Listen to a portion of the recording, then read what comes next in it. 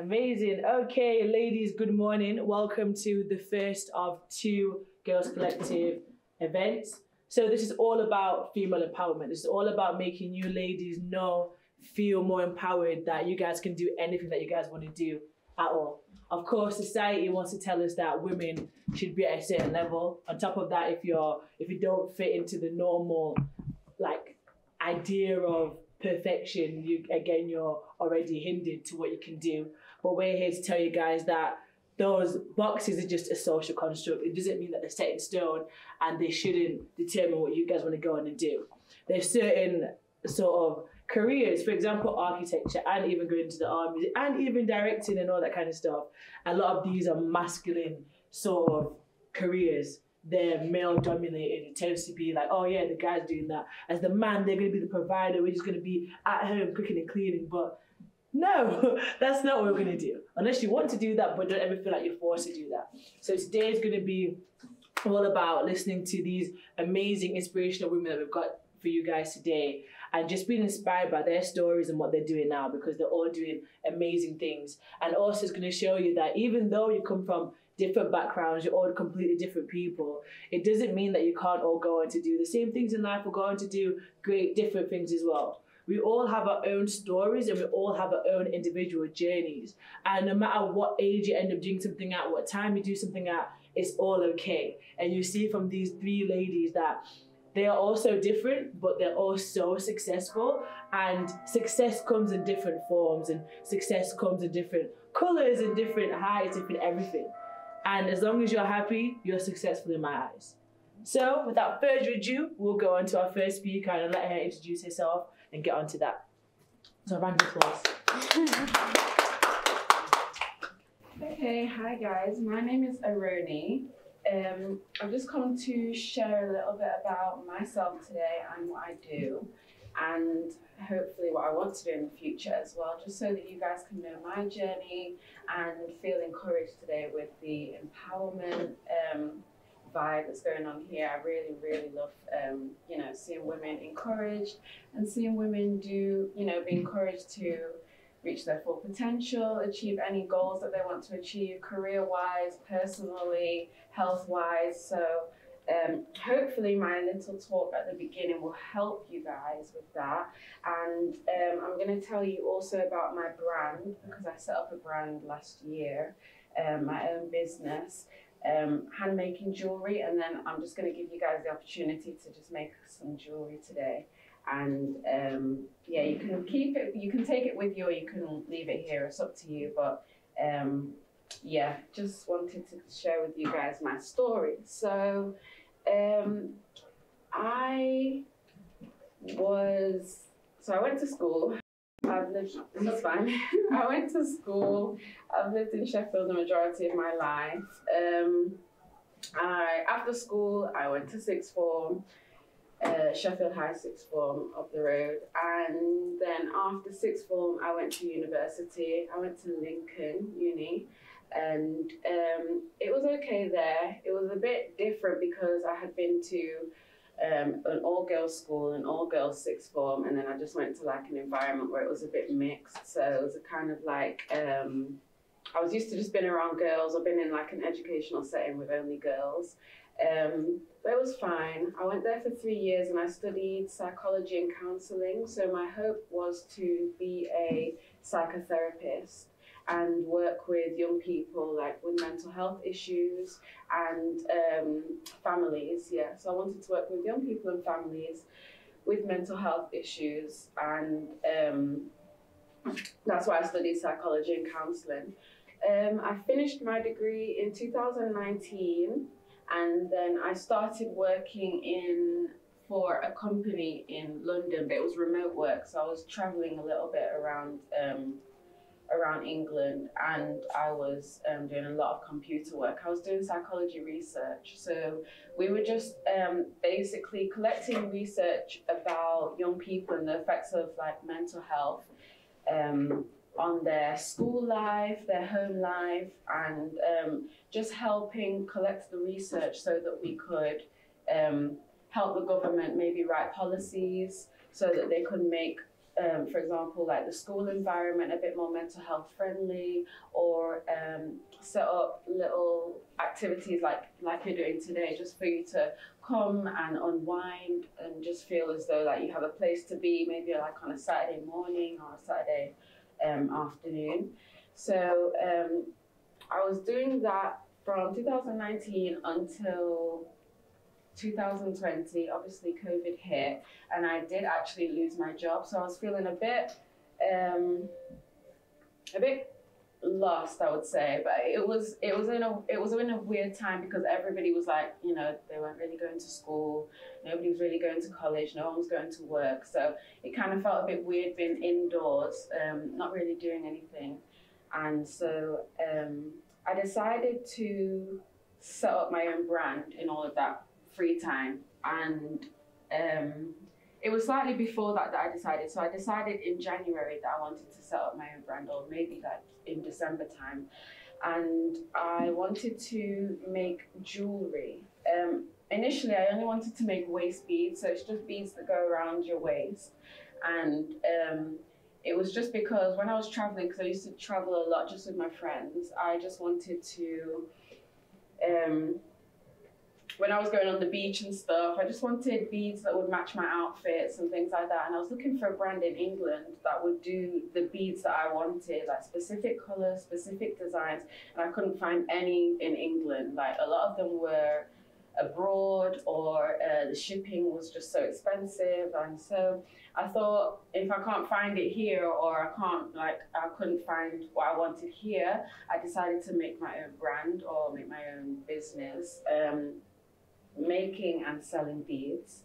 Um, I've now branched out, so I did start with just waist beads, but I've now branched out to um, anklets and bracelets. And some people are now inquiring about me doing like thigh beads. So you just put like the beads around here, you know, in summertime. Um, so I will be doing like expanding and doing more things, hopefully within the next few um, months.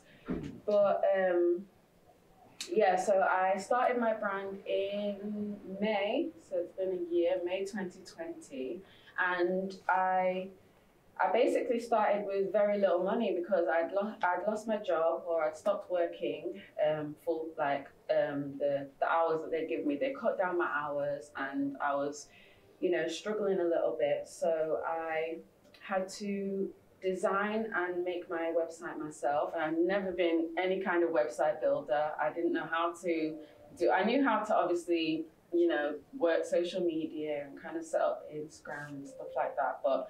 Um, the website was really hard. I had to take my own pictures. I became so many things I never thought that I could become. Like, um, I did administration. I was a photographer for my brand. I had to do like modeling for my own brand, and it was just like seeing myself or like fulfilling like my potential and just doing things that I never thought I would be like capable of doing by myself. But kind of going into lockdown, you know, it if it forced me to focus on you know, bettering myself professionally and bettering myself personally. So. Um, yeah, I did all of my website. I did all of my social media, so you know, Facebook, Instagram, marketing, um, and all of this kind of thing. I actually went to get the beads myself. So the beads do come from Africa, and I wanted them to be really specific. So I actually did go and get the beads myself. I traveled to um, I traveled to Africa. I went to Ghana, and I um, the day I landed the two days after was when we went into national lockdown in March. So I literally just made it back into England and I just started beading. I started making my beads straight away. And then, um, yeah, so I came back in March and then I launched in May of last year. Um, so yeah, I make, I just bought some now to, I mean, some today to show, but I make, I make all of them like handmade. And I have on my website, I basically let people choose exactly what colors they want, and what color pattern they would like um, to do it in. And because these um, these are part of my um, because they're part of my brand and they're part of my ethos, I wanted to basically use the beads to encourage confidence, to make people just feel a little bit better about themselves. You know, have like an accessory. Like for me, definitely when I was on holiday and I could just like have my matching beads with my outfit, or I might just have like an all white outfit and I can just put my beads on. Um, I just feel a little bit more confident, you know, I just feel a little bit better about myself and um, I'd feel really well accessorized. And that's what I was hoping for when I launched my brand, just to give other other people the opportunity to um, wear the beads and just feel um, more confident and just a bit more like happier, I guess, because I definitely felt more happier. Um, I also decided to launch a like flag collection. So if anyone is from like a particular country all over the world, because I do ship internationally, they were able to um, let me know on my website what like country flag they want. All of these flags around here, I've probably I've probably done a few of these as well. Like people have been ordering from so many places, uh, Belgium, to Belgium, the Philippines, um, many places in Africa. There's just been so many, so many countries that people have been ordering. So this one is Jamaica, and this one is, I think it's, um, this one was Afghanistan. Yeah, um, I had an order from maybe not from the countries, but people would want to represent where they're from, for example, and just like represent their country. So they asked me to make the beads in like the, the country, uh, the colors of their flags. Um, yeah, so that's what I've been doing for the last year. Um, I think that it has really been encouraging. I've just been so overwhelmed with like the orders I've received, the amount of support from people that I don't know, the amount of support that I get from people like um, internationally.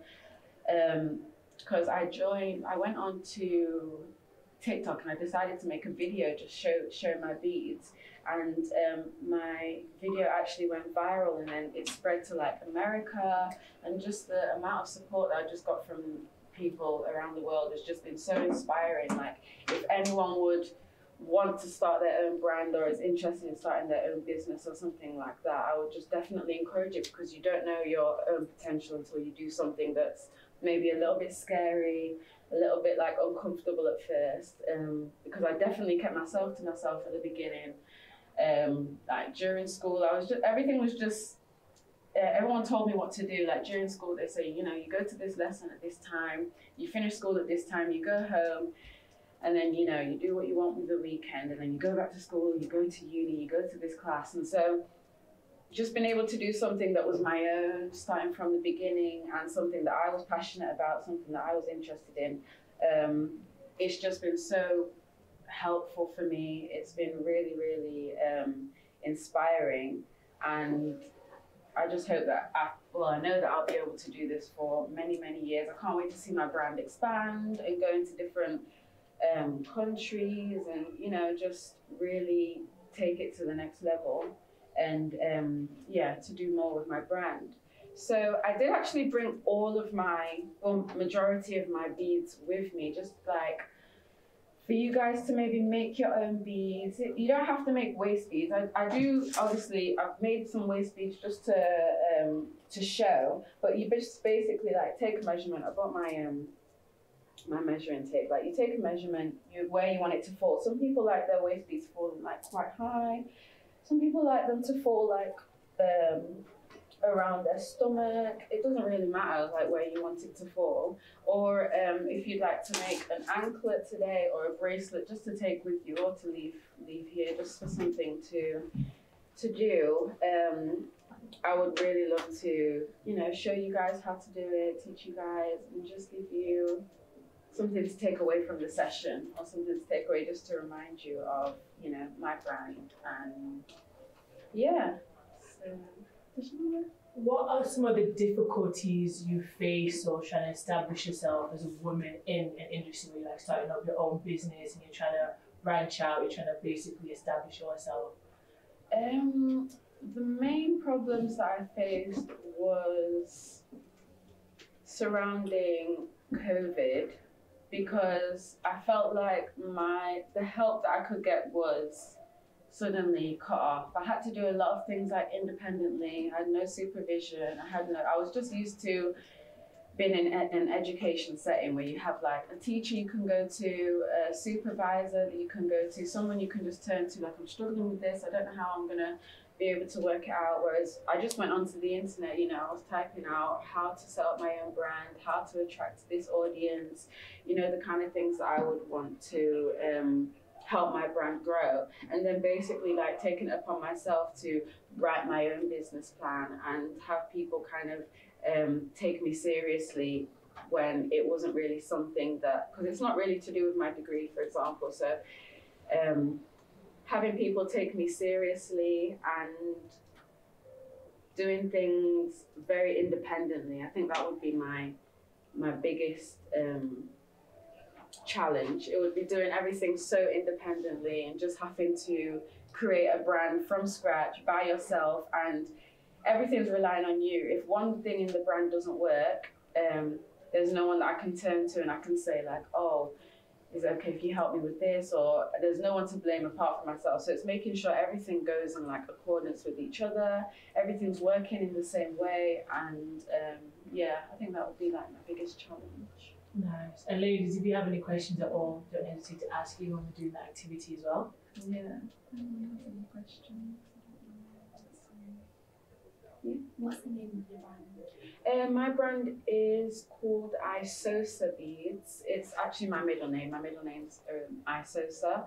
And I was thinking how to make my brand personal to me. I was thinking about a name for so long. Um, how to make my brand personal to me, something that's kind of like a legacy, something that I can like be proud of. So I did name it after myself, like my middle name. And so it's always going to be, I feel like personal to me, and it's always going to be um, my brand. I've got actually like um, I'll show you guys after, but I've actually got my business cards here, and it's like a little. Um, my logo is just like a, a well, it's meant to be kind of representative of me, but um, she's wearing a swimsuit and she's just wearing the beads, and so um, yeah, I designed the logo myself. I designed like everything myself, all of the cards. So yeah, Any other questions? No? Um, do you guys want to make some um, waist beads or bracelets or anklets? I've got an anklet on right now. Really easy to make. Um, I just made a plain white one. And um, I think I've got some waist beads on, but I'm just wearing a bit too much. Um, yeah, so if you would like to, um, I could hand out some beads for you guys to make some now. Um, I'll hand out the strings. Uh, yeah.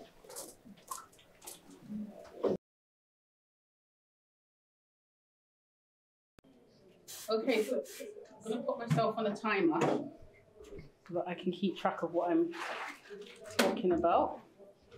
So I'm Ursula, Ursula Myrie. I'm the founder and CEO of Adira. Adira is a survivor-led mental health and wellbeing service that specifically supports black people with mental health issues. That doesn't mean nobody, you know, else can't come to us, but we do specifically support black people with mental health issues for the simple reason that in the black community, we don't believe in mental health. Behind closed doors, we will say that's a white man's problem. It doesn't exist for us. But yet still, we are overpopulating the psychiatric wards. For every white person on a psychiatric ward, there are seven black people. So there is a disconnect somewhere because we're saying, well, I don't believe in it. Because in the black community, mental health is seen as voodoo, witchcraft, juju, evil eye, black magic, it's not mental health. You can't come to a black person, even if they're running the streets of Sheffield naked because they've had a psychiatric break, and say to them, you know, we think you've got mental health issues because they will tell you doesn't exist for us. So Adira, I set up Adira eight years ago, and it's been going eight years on and off. The first three years, we, we um, were specifically focused on women, supporting women. And what I did was I went into the community, poorest community I could find in Sheffield, which is Page Hall, Fir Vale. And I said to them, What is it that you need? What is it that you need from us? Do you live in Fir Vale? Oh! no, this was eight years ago, so You're not wrong. It's okay. We're not yeah, arguing. because they just seem to, the government just seems to have taken a lot of Roma Slovaks and just Oh dumped God, them Yeah. in there. And what's happened is all the people who were born and raised and, you know, raised their families there have just moved out, you know, because a certain Slovaks, they live a certain way, which is not conducive to, to our lifestyle. So we went into there, and what I didn't do was go in there and say to the community, okay, so this is how we're going to fix you. Um, we're going to do this, and this service we're offering. And no, I said to them, what do you need? Two words kept coming up every time. Who can tell me what those two words were in terms of what the community said they need? What do you think those two words were? Support. Nope. Yes, but what kind of support? Mental health support. Nope. Huh? Benefits or something. Hmm? Benefits or something. Close. Food and clothes. Oh. Those are the two words. Oh my god, that's actually my phone. How embarrassing. Those were the two words that kept coming up food and clothes. Because with mental health, even, you know, just general, people don't like to admit that they have mental health issues. So even if they're alcoholic or they're a wife beater or they're the, the one being abused, they're not going to say to you, oh, I need help because my husband is beating me. They're not going to say to you, oh, I need help because my child is doing drugs. They're going to say to you, I need food and I need clothes. And that is the door into, into their lives. So we set up a, a food bank and we set up a clothing bank. Now, the clothing bank was where we had the community donate all over Sheffield. They donated clothes, shoes, handbags, pots, pans, bedding, and people would come to the clothing bank and we'd sell it very, very cheap because this is a community that doesn't have money. So, what we found was people were donating designer clothes, literally with the label still on them. So, you'd get an Armani top for like £3 brand new, still with the label on, because you can't be selling the Armani top for hundred pounds for a community that's on benefits. You know, they can't afford it. So that's what we were doing. And people were like, well, okay, so you're meeting the physical need because you're giving them the food and you're giving them the clothes. What's that got to do with their mental health? But I tell you what would happen. A woman would come into the clothing bank and she'd be, this is the clothes rail, and she'd be talking to me and I'm saying, oh, you know, what size clothes do you want? And she'd be going, mm-hmm. oh, this looks like it'll fit me. Oh, this looks not like it might. Oh, do you know, um, my husband beats me all the time. And she's talking to me, but she's not looking at me. She's looking at the clothes rail. And she's going through the clothes, and we're having that conversation. And, my, and I don't react to what she just said. I just like, oh my god, yeah, this looks like it'd fit you. So he beats you, does he? How often does he does he do that? And we have a conversation by the clothes rail, right? Or they're coming for a coffee, and while they're drinking that coffee, they'll be telling you that their, their son is doing this and their daughter is doing that. And you hear the most horrific stories whilst they're going through the clothes rail, whilst they're going through, and it's then when after six weeks of them coming, and she comes every week, and she sometimes these women would come or these men would come and they wouldn't even buy anything. They'd come and we'd go through the motion, going through the clothes rail or looking through some curtains or some clothes, and while we're looking, yap, yap, yap. And after a few weeks of me just listening and okay, and talk, they say, Do you know what?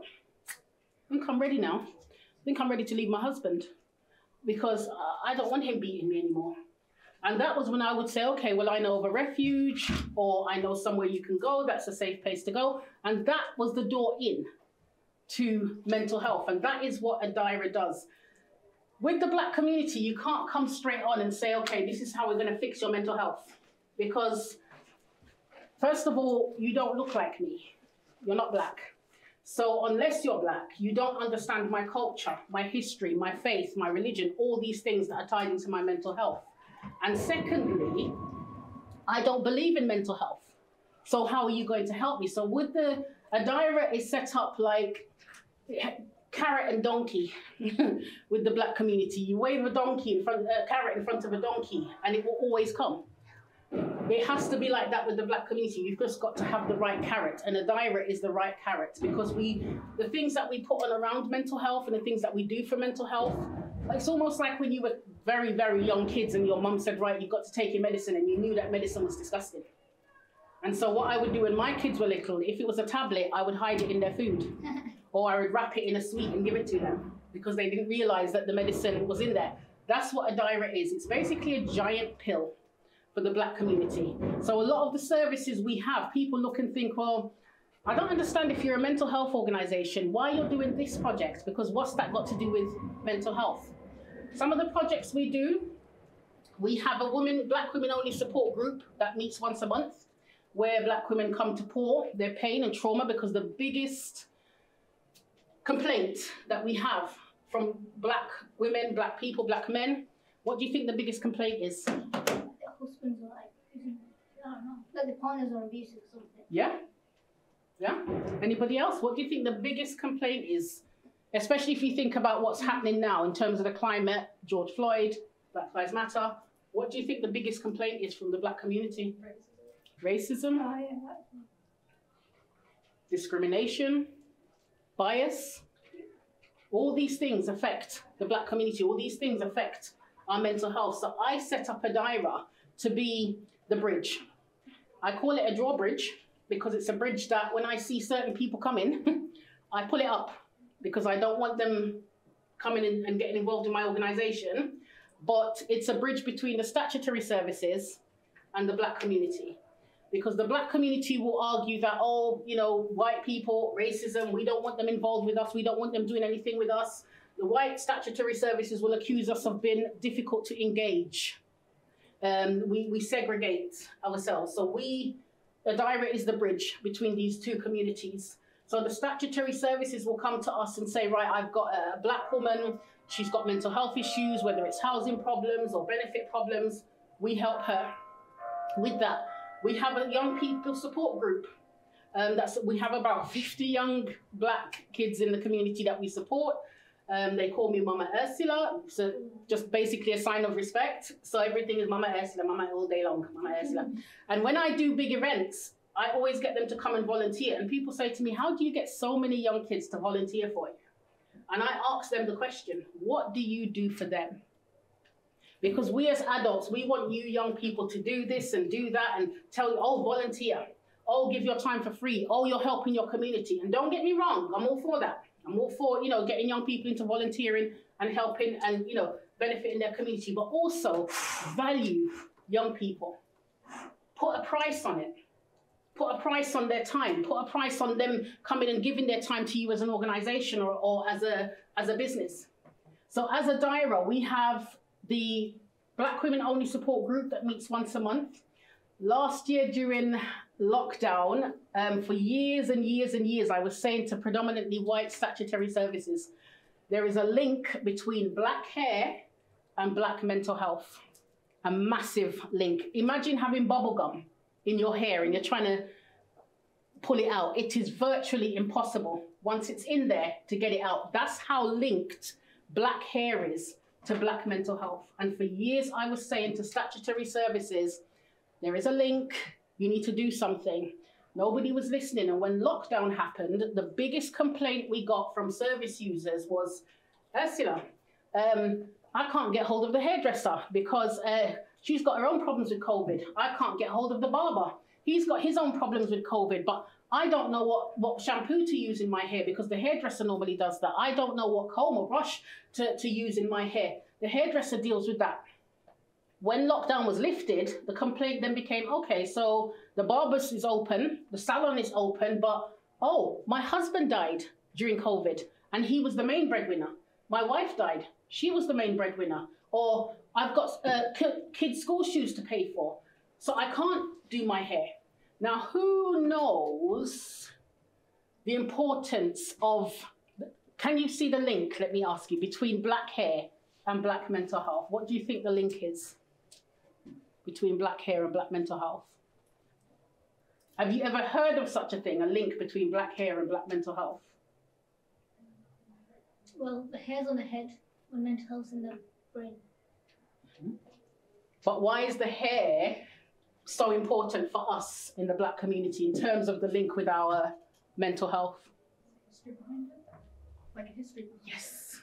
the history behind it. I could go all the way back to before Adam and Eve, but I won't. I will go just back to slavery. During slavery, what a lot of people don't know is that black hair saved us from slavery. You know cornrows mm-hmm. or cane rows, what black people, those styles that black people wear? During the days of slavery, if you were on the cornfield, your hair was done in cornrows. If you were on the cane field, your hair was done in cane rows. Now, it wasn't just, oh, I'm doing a really nice style here, really nice cane row in my head. The cane rows was literally a map. It was a map. It was designed in a map on the person's head to let the other slave know this is the route to the Underground Railroad. And the Underground Railroad is what the slaves used to escape. And what the mothers used to do was to put grains and rice in the cornrows. So on the journey, they would untie their hair, wash the rice, wash the grain, and feed their children. Now that's our history of our hair, and that's why it's so tied into our mental health. So last year, one of the projects Adira launched was the Sheffield's first, it was described as historic, Black Hair Care Project. And the Black Hair Care Project basically gives black people with mental health issues the opportunity to get their hair done for free.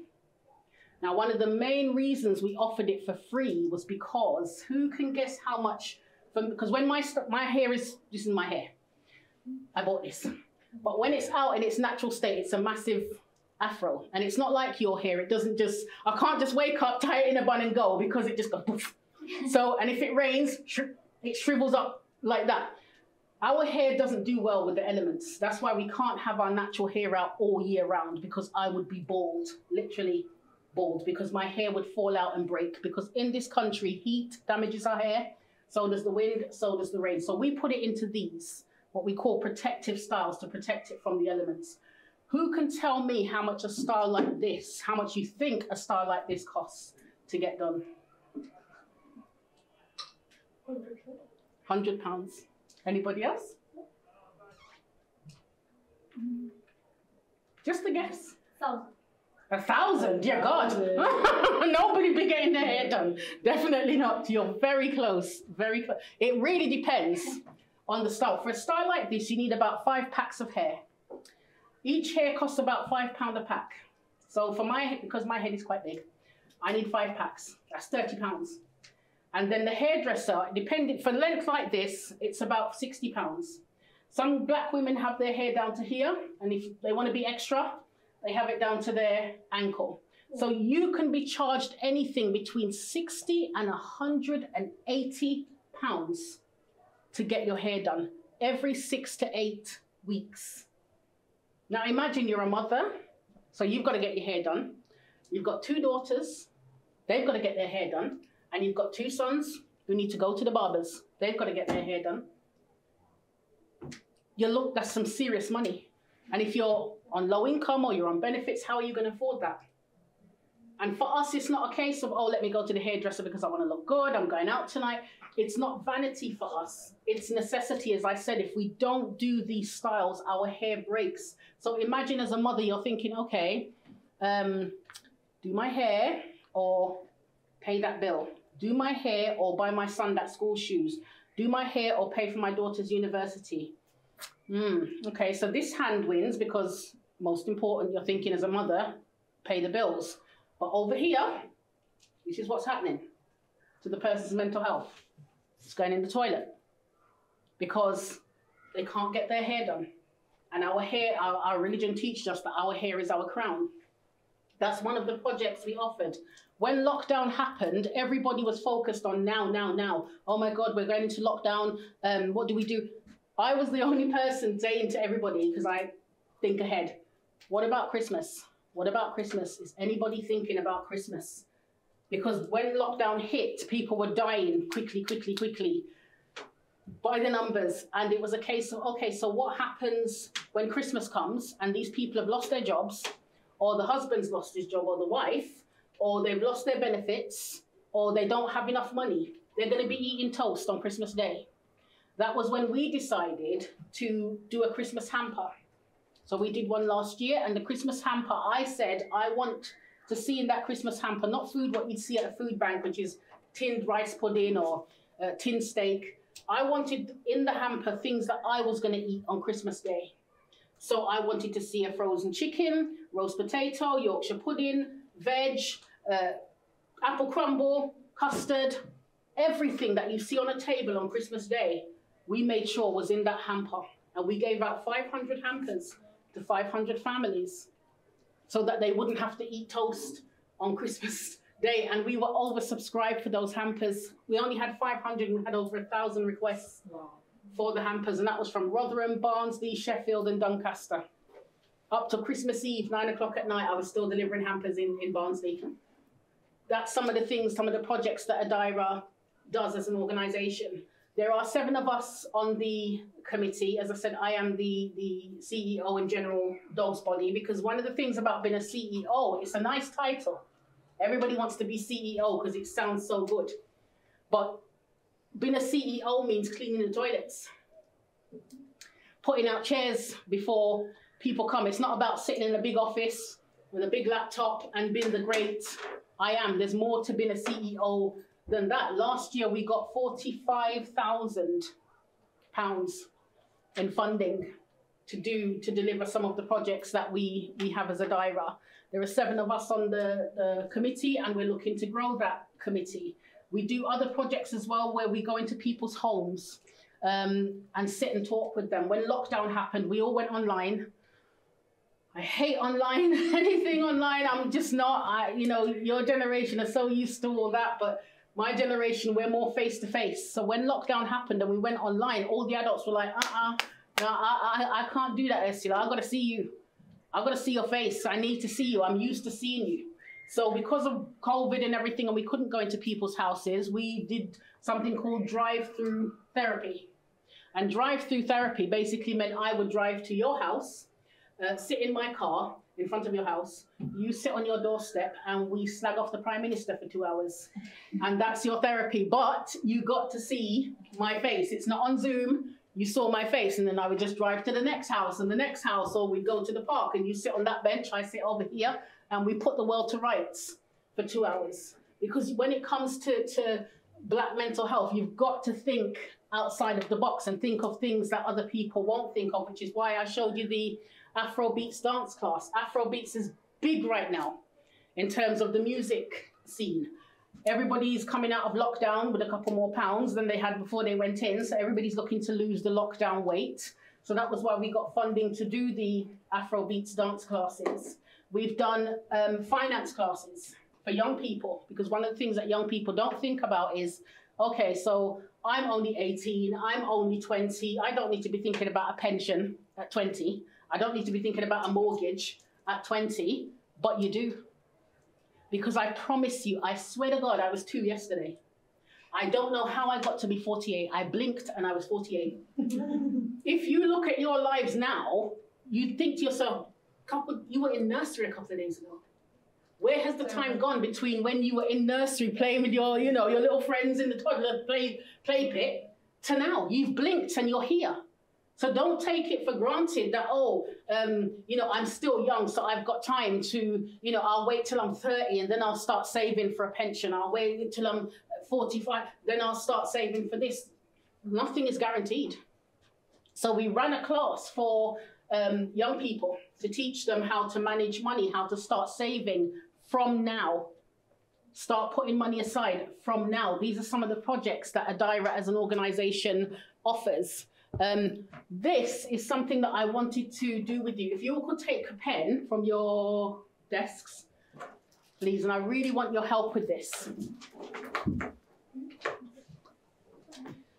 If you could be very, very honest, no filter, Oh, no filter. we're, we're very honest people. yes, thank you, thank you. So, yes, feel free to put a couple of swears on there. Oh, yeah. Oh, okay, don't tell us because we're gonna go berserk now. Good, that's what I want.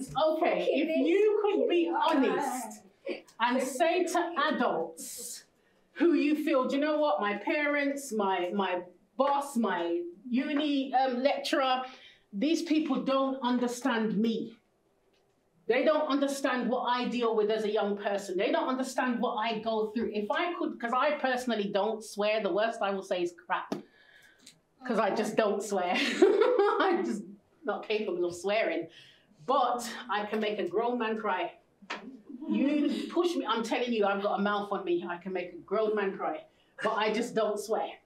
But if you could just say, you know what? I wish grown ups, for the love of God, knew this about me. This is what I struggle with as a young person, whether it's um, mental health, whether it's, oh, I'm LGBT and I'm treated differently because of it, whether it's because I'm black or because I'm Asian or because I'm too light, I'm too dark, I'm too fat, I'm too skinny.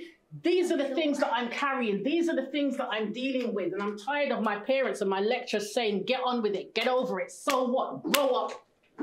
If you could just let rip and say, this is what I'm effing dealing with, put it down on the paper, please.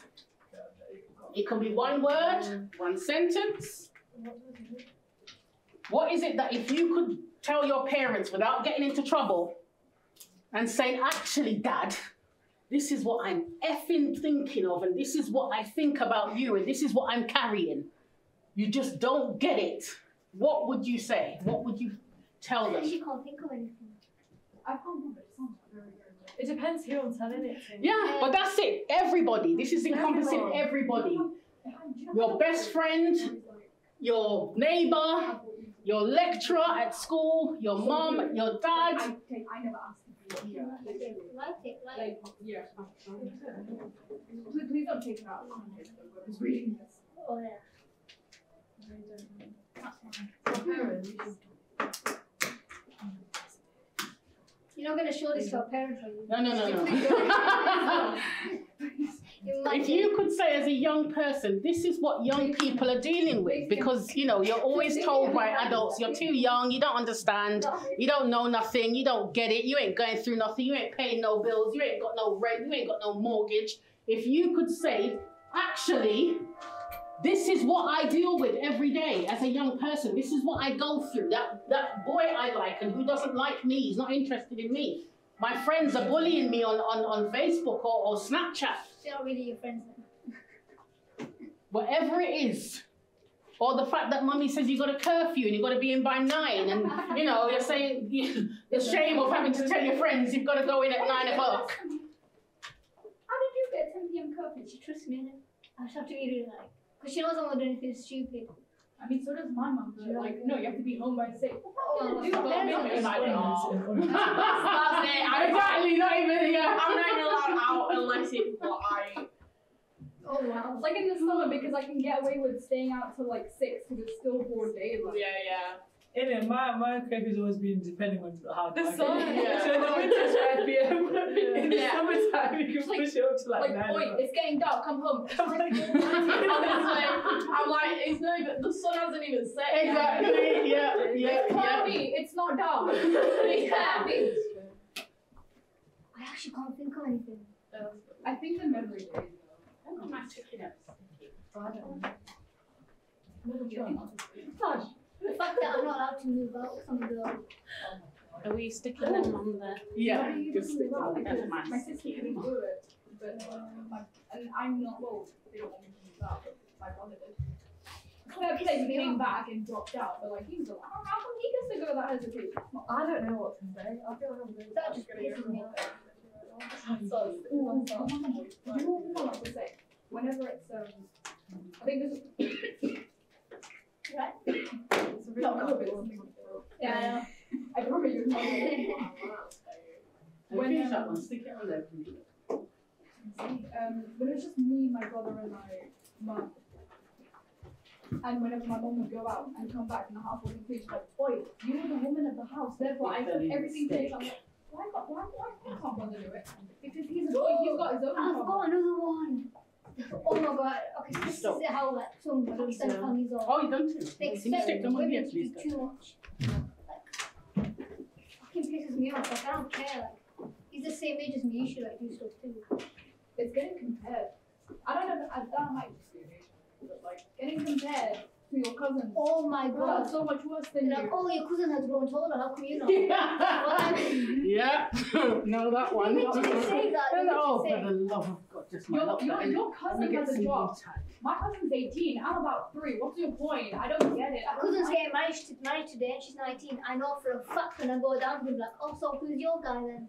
I know when for you a get fact. married. Yeah, we're gonna do that. I, wa- I wanted to ask. Uh, this was my brother's um, nikah. Oh, Yeah. And, I and a literally just asked me, so how, Three so how drops, many but we're how many kids how many kids have you got? I'm sorry. excuse me? I'm 15. The fuck? Does that mean you're gonna have kids soon? Do you know? Jeez. Well, oh my god, there's so many. Com- com- getting compared to cousins. We're just getting confused. My, co- my grandma doesn't like the, this is, used to like clothes I wore, like jeans. and stuff. Oh my goodness. Stop.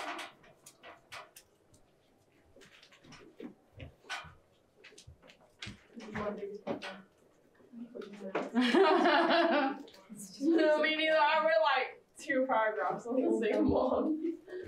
Men are treated as more superior. You. Don't be yourself. What is it about men? Just have a penis, that's it. Men are trash. Oh, yeah, there were no men here. I I couldn't say am what typical. Typical. So is it you saying men are trash, or is it your parents saying No, men are I'm trash? saying this I- is two I- separate ones. Okay.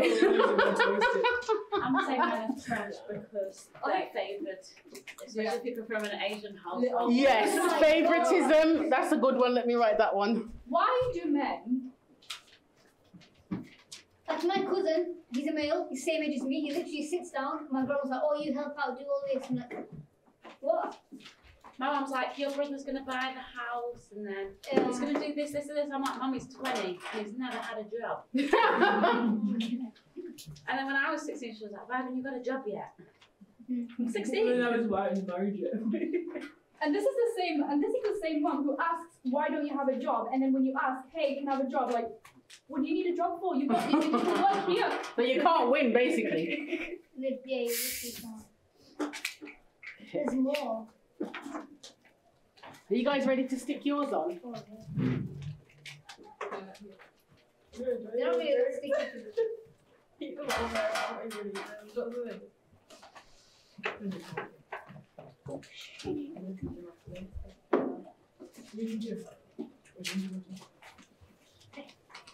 Oh, wow.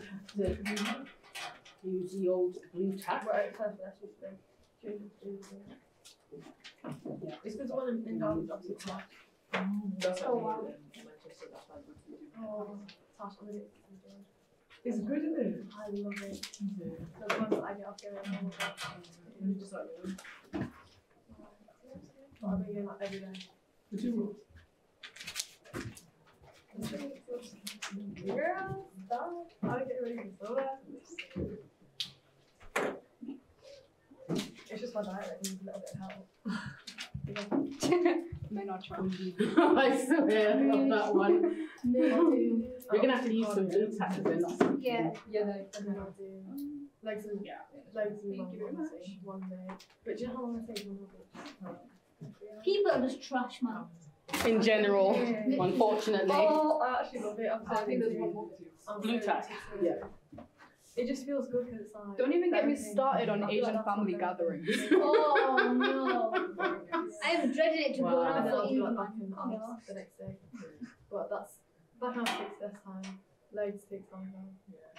But Okay. They're always dissing you in some way.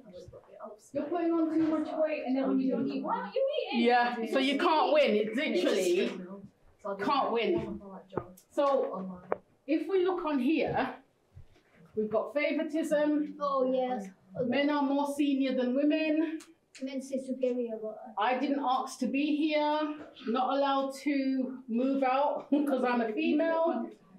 Girls don't like my clothes. I'm in. I'm uncertain about the future, and that should be okay. Unfortunately, it's not for some parents. oh. Double standards, most definitely. It says particularly in Asian. Oh yes, particularly in Asian eh, households, men are Probably not just Asian households, just men are trash. I am not 12 anymore. Let me grow. Race. Colorism, feeling trapped, government, oh my God, yes, mental health, lack of understanding, workload, social life, friends, family, church, culture, Yeah. community, That's balance, juggling, budgeting. We won't touch on that one. I don't feel connected with my heritage, which makes it harder for me to find my place in the world. Amen, Jah. Uh, being treated different for being lesbian. You don't even want to talk about LGBT in the black community. Oh, Jesus. Christ. No, I swear. Lack of independence, culture. I used to cry about worrying to tell people that I am bisexual. Body shaming. Now, I want you to imagine that all these are bricks. All these, all these statements, all these words, I want you to imagine that they're bricks. Yeah? And they're bricks in a massive backpack. And this is what you all carry on your backs Oh, every day. And you're not allowed to take the backpack off. And I'm telling you, you've got to sleep in that backpack with the bricks in it. You've got to eat in that backpack. You've got to shower. You've got to bath in that backpack. You've got to go to college, uni, work in that backpack. If you're going out with your girls to clubs, take the backpack with you. You cannot take this off. How would that make you feel? my too many bricks. But the long and short of it is, you are.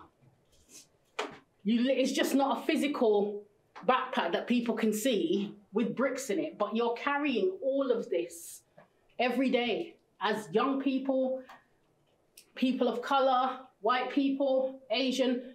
Every day you're carrying all of these things. And when your parents, your, your, your teachers, your adults in the world like us are saying to you, you know, oh, lose weight, put on weight, come in earlier. Why did you come in so early? It's almost like somebody taking bricks out but putting more in, and then they're taking it, and you think, what are you doing? So you're at that place where you're, you're, you're struggling as young people because you're feeling, well, I don't know who I am.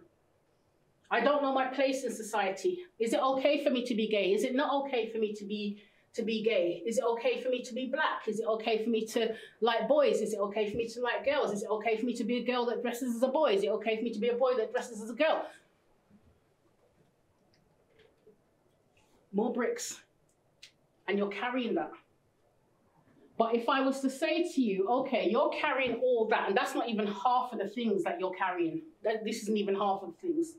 If you had time to sort of spend the whole day and really sit down and think, what do I deal with on a daily basis as a young person? Somebody up there put government. I felt like when lockdown happened, all students, all young people were just forgotten about. You know, nobody said, well, how are students coping with this? How are young people coping? What about, about their mental health? They used to been outside and used to hanging out with their friends and now they're locked up. Is anybody thinking about that? Is anybody asking them how they feel? Does anybody care? And this is your government. And you're carrying that every single day. And I feel like sometimes we as parents, we think, well, you know what? Um, you're saying, oh, but I'm, I, I'm struggling with my friend at school because she, she went and, and stole my boyfriend. And we're like, really? That's, that's your biggest worry in the world, that your best friend stole your boyfriend. When I'm, I- I'm worried about how I'm going to pay the mortgage. And I'm worried about, but does that mean that your worry about your boyfriend is any less than your parents? But it's difficult as parent and child to see each other's point of view because as parents, we're thinking my generation was the generation that literally sucked it up. Yeah, and especially if you're black, we teach our children from the womb. Portray the image of the strong black man and the strong black woman at any cost. Don't let white people see you cry. Don't let white people see you break, even if it means you end up in the psychiatric, what I call the PCP, the psychiatric ward, the prison, or the cemetery. So what? As long as you've portrayed that image as the strong black man and the strong black woman, because that's what the media portrays. But we then pass that on to our children. So when our children come home and say, oh, mommy, I'm being bullied at school, or mommy, the teachers um, told me off for something that wasn't my fault, instead of saying to the child, okay, what's going suck it up. I've got bigger things on my plate. I've got more important things to be thinking about than your problems and your issues.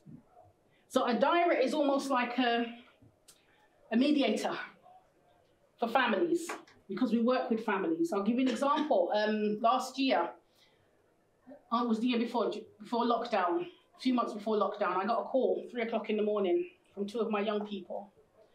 When I say young people, they were, I think, 19 and 22 at the time, living at home with a mum who has serious mental health issues, is a raging alcoholic, she's on antidepressants, and she has psychotic breaks from time, psychotic breaks from time to time.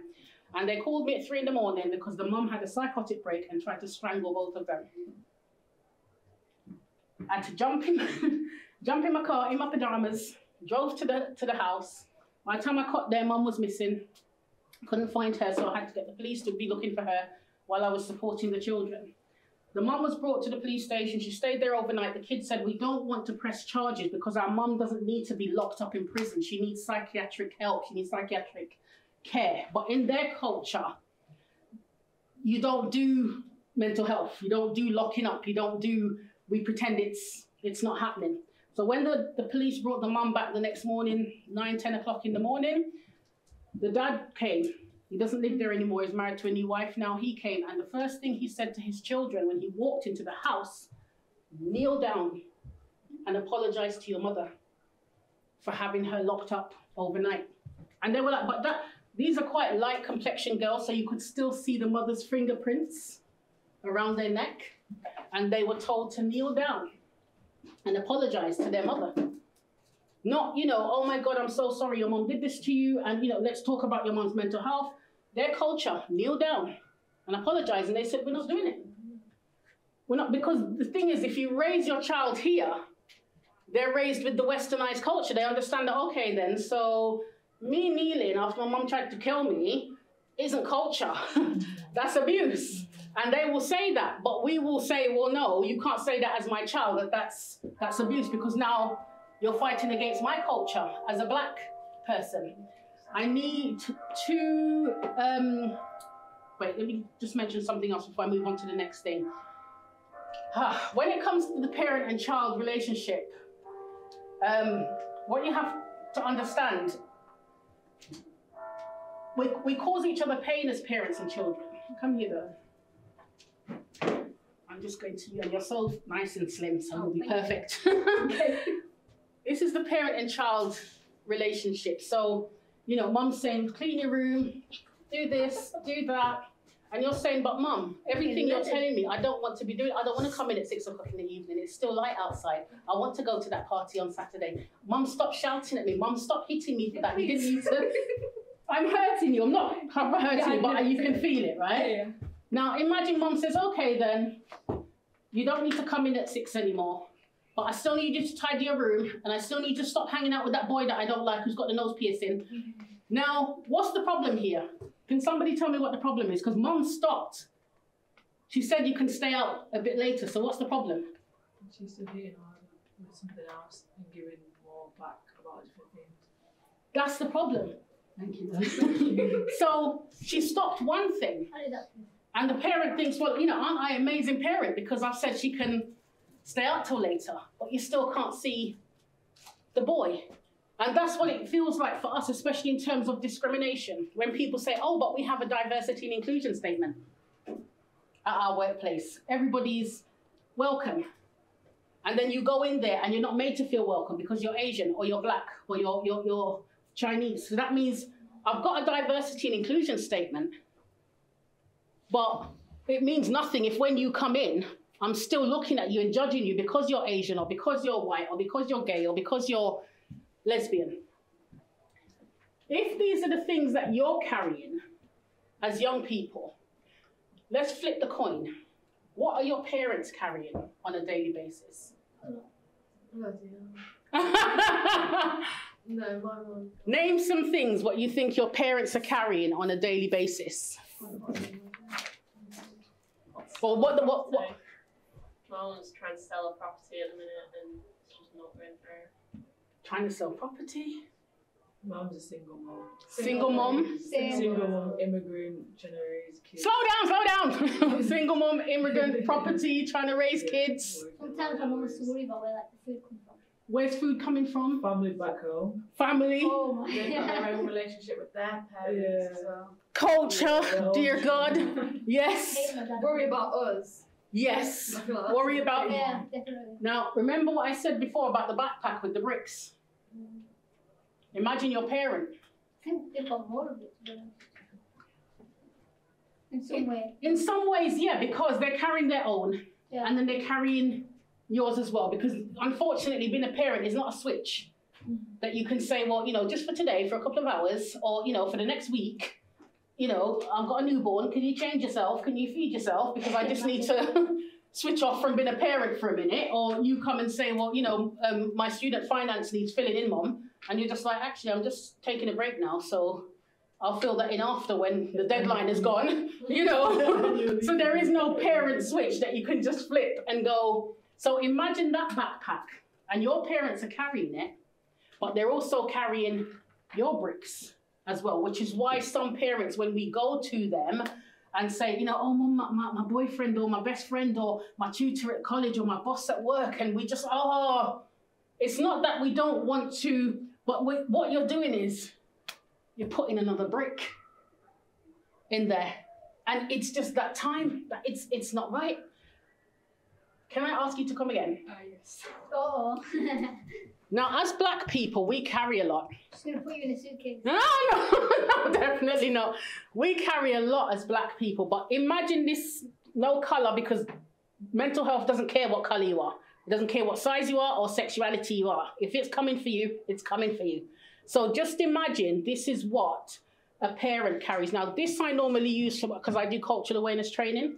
So I normally use these as part of the training because people ask me to come and talk about the black community and black culture. This in the suitcase is what I say to people. When you next see a black person, ask them, what are you carrying?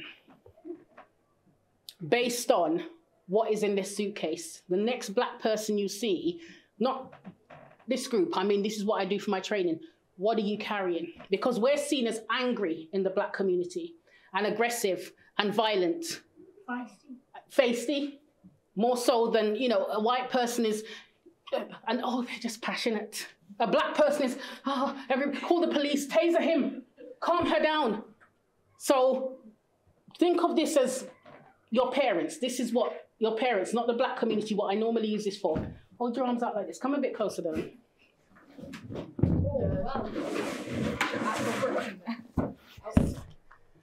Bias. Yeah, hand them to me, please. Harassment. Do you know how many times people get stopped? Sometimes I drive my daughter's car. She has a 2019 BMW. Oh, I think it's stolen.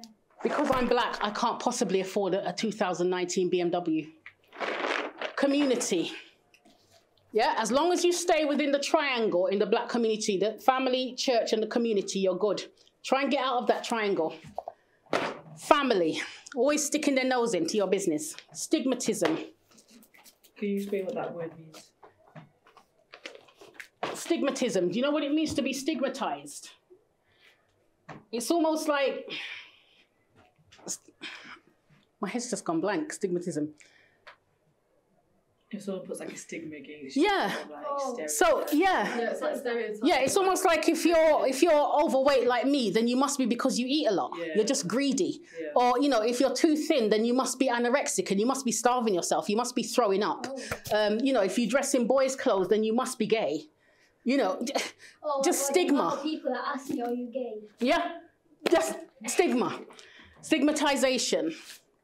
Physical abuse. Physical abuse is very commonplace in the black community. Physical sexual abuse is very commonplace in the black community. And you can't come in, say you are all adult social workers, you can't come in and tell me that it's wrong to beat my child. If my daughter does something, it's not, it's fine for me to take this, use the wire from here to beat my child. Now you can't come in and tell me that's abuse because I will tell you that's culture. Right? And my Bible tells me to spare not the rod and spoil the child. Bullying. We get bullied at work. If I do something at work or my colleague does something and I pull her up and she's white, she weaponizes her tears, she goes and cries to the boss. The boss calls me in and says, I'm not a team player. She, she's bullying me. But because she's white, I'm the one getting into trouble. Parentification. Who knows what, who thinks they know what that means? Parentification. It's a very common thing in the black community. It's where black parents, my ex husband tried to do this to me. When my daughter was born and she was three weeks old, he wanted me to send her home to Nigeria because he's Nigerian. And they will send the child home till, till they're about 12, 11, bring the child back. And in the time that the child is away, they're pushing out babies. They bring the child back, and that child now becomes the parent. So they have to do the school runs, if there's a baby, they have to change, feed the baby, wake up in the middle of the night. They have to take the kids to, to, to after school clubs. They become the parent. And you can't come in as social worker and say that's wrong because I'll tell you no. That's, that's, that's my culture. So it's parentification. Even at 12 years old, a child becomes the parent. Stereotyping. Sexual abuse, as I said, these types of abuse are very common in the black community. And many other communities. And many other communities as well. Thank you. Expertification. Who knows what expertification, who knows what I mean by expertification? So I'm here, a Beyonce song comes on, and you say to me, Oh my God, what's the next line on that song? You must know it. How am I get what? Because I'm black. I must know the Beyonce song. Oh, you go. Oh my God, can you just twerk for me? Oh, also, because I'm black, you assume that I can twerk. That's ex- expertification. It's a thing. Are you okay? Yeah, I'm good. Underrepresentation, spiritual abuse. Religion is very big for us in the black community. And we use that to keep people down. So we will say the Bible tells us that uh, mental health is demonic possession. It's not mental health. You're possessed by several demons. Um, so you know, don't don't go and see a therapist. Just go to the, the, the pastor who will bring the praying oil, um, and you know, pray the demons out of you. Thank you. Can I have another volunteer? Because we're not going to see you in a minute. Go on, Alan. Yeah. Health inequalities. We all know about that, the rate that black women die in childbirth because of health inequalities. Prejudice. We all know what that means. Hair discrimination. Who's heard of the Crown Act? It's a new law been launched in America to stop discrimination of black women based on their natural hair in the workplace, where a black woman has been literally fired from work. Oh, I think I've seen Yeah, that. for wearing her natural hair. Even some kids have been sent home from school, black kids, because they went to school with their big afro, their hair out, and they were sent home from school. So now in certain states in America, they've made it law that you cannot discriminate against a person because of their hair. And they're now bringing that here into this country to make it law as well. That's just one of the things that we deal with. Stop and search. Stop and search. We've seen it so many times in videos now where four boys will be walking, three are white, one is black, police car will pull up and they will stop the black child. And the three white boys will be going, but you're not searching us. We're with him. Yeah, but they only search the black child. And that can happen several times a day. Stop and search. Discrimination. Social inequality. So we get dumped in the poorest areas of, of Sheffield in terms of housing and we don't have access to good health care. Mental health issues. Racial inequalities. Inequality full stop. Religion. Oh. Colorism. Now, who understands what I mean by colorism? Because did you know that in certain um, communities, especially in the black community and the Asian community, the darker you are, the more you're, you're, you're seen as nothing. That's why skin bleaching is now a billion pound industry. Because it's been drained into people's head that white is better or lighter is better. So to, to be dark, I know parents who have two kids, one is light, one is dark, and they hate the darker child and worship the lighter child. And can you imagine the impact of that child seeing mummy always hugging and kissing and cuddling my sister or my brother, but she won't me simply because my skin is, is dark? White spaces. Who knows what I mean by white spaces? You walk into a room as a black person and you're the only black person there.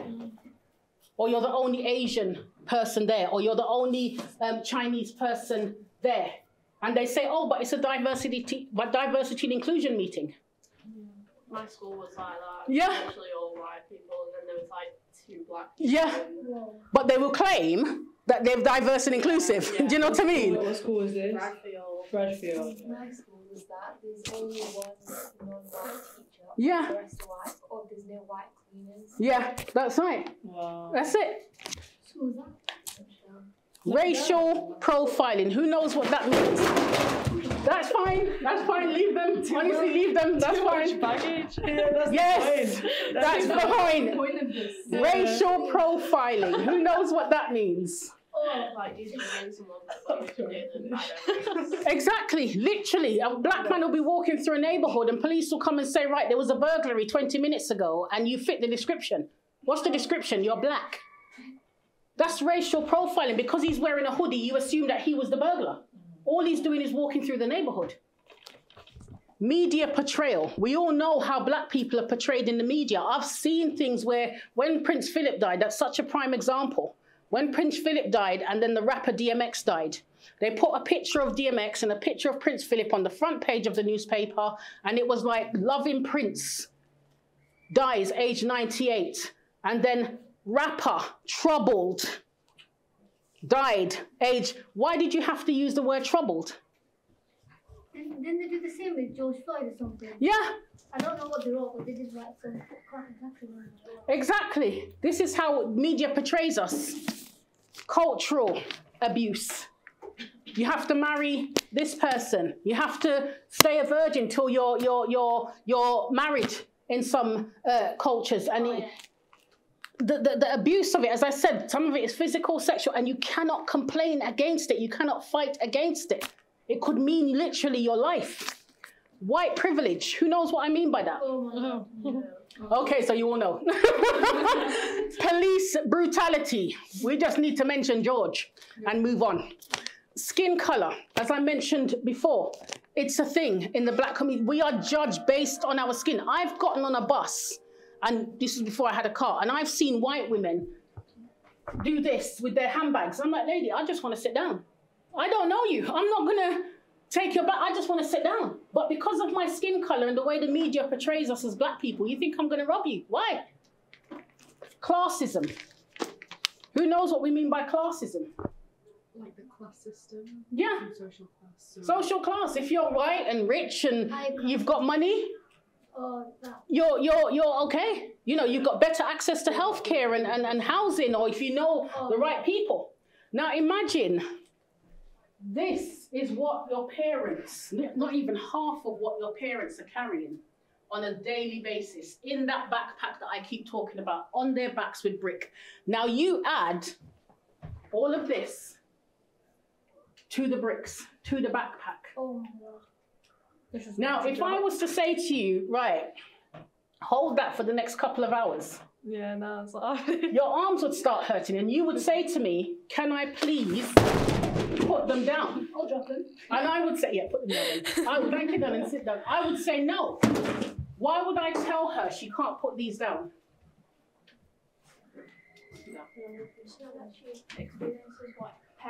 To experience. Very good.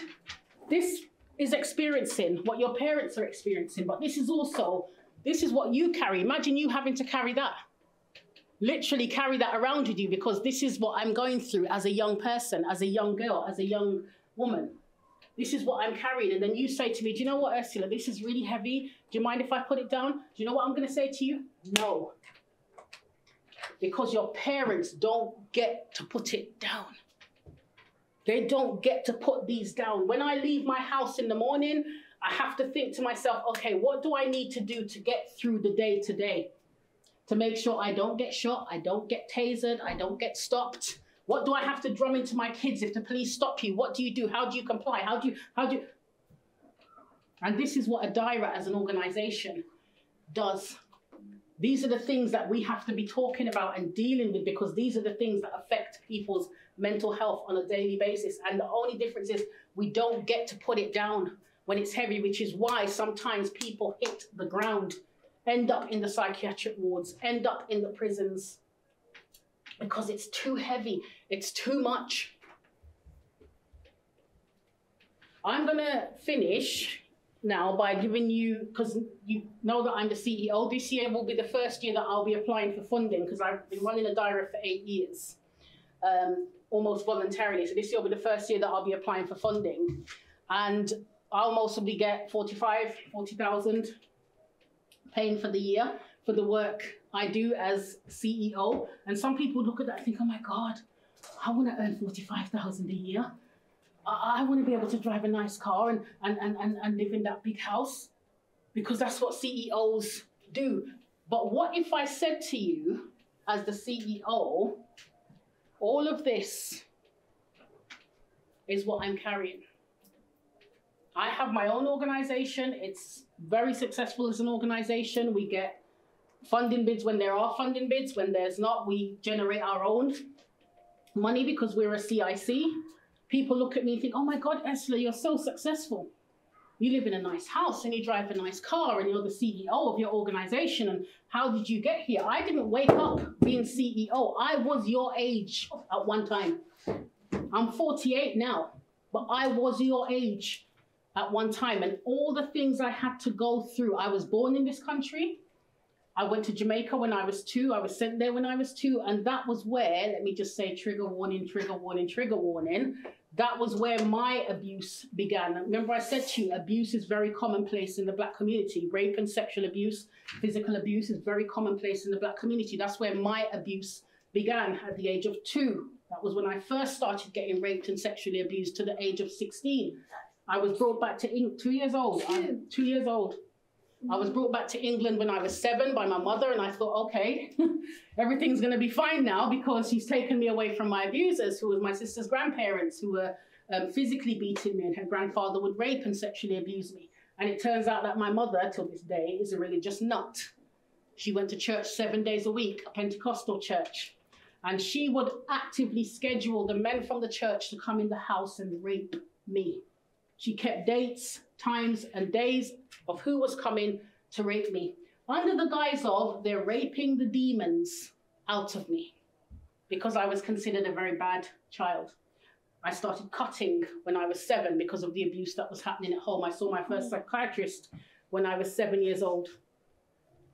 And so they would try and rape the demons, they would come with the praying oil and rape and abuse me. In between the rape and the sexual abuse, there was the physical beatings from my mother. I have an unusually high pain threshold simply because I have so used to having my bones broken as a child. My mother would beat me until either a bone broke or she saw blood. So I spent a lot of my childhood in and out of hospital with broken bones, sexually transmitted diseases. She would beat me with the telephone wire, but what my mother would do is strip the black bit, the plastic off, so that the metal underneath, and beat me with that to rip into my skin. That was from the age of two to 16. And in between the beatings, I was put into care. For over two and a half years, this was all in London, I was put into care under the care of Lambeth Council. I don't know, you all know about the Rotherham sexual abuse scandal mm. that broke. Um, one of the other biggest, well, it is the biggest scandal to date, mm. is the uh, Shirley Oaks abuse scandal. It broke in London about four years ago, and it is the biggest sexual abuse scandal in the history of this country. Did she lie about it or something? Hmm? Did she lie about it or something? Who, my mother? No, the I've never heard of those scandals. Yeah, Rotherham, very, very big story. But the one that happened in London, the Shirley Oaks abuse scandal, that was because Shirley Oaks was a, a group of care homes under the care of Lambeth Council in London. They were opened in the 30s and closed in the 80s and the care homes were actually a paedophile ring that would rotate the children based on preference. So if you were a man and you liked boys under three, you went to this home. If you were a man you liked teenage girls, you went to that home. So in between the beatings and the rapings at home, I was put into care where I was raped and beaten in the care home because I didn't know at the time that the care home was run by a paedophile ring. It was four years ago when a black man who was also in the care home went public with the story. It broke. For three years, Lambeth Council denied it, said it didn't happen, there was no abuse. And then Theresa May, when she was still in power, went into the House of Commons one day and said, Look, to Lambeth Council, this did happen. You know it happened. Own it. The next morning, they released a very public statement on national television, all in the newspapers. Yes, it did happen.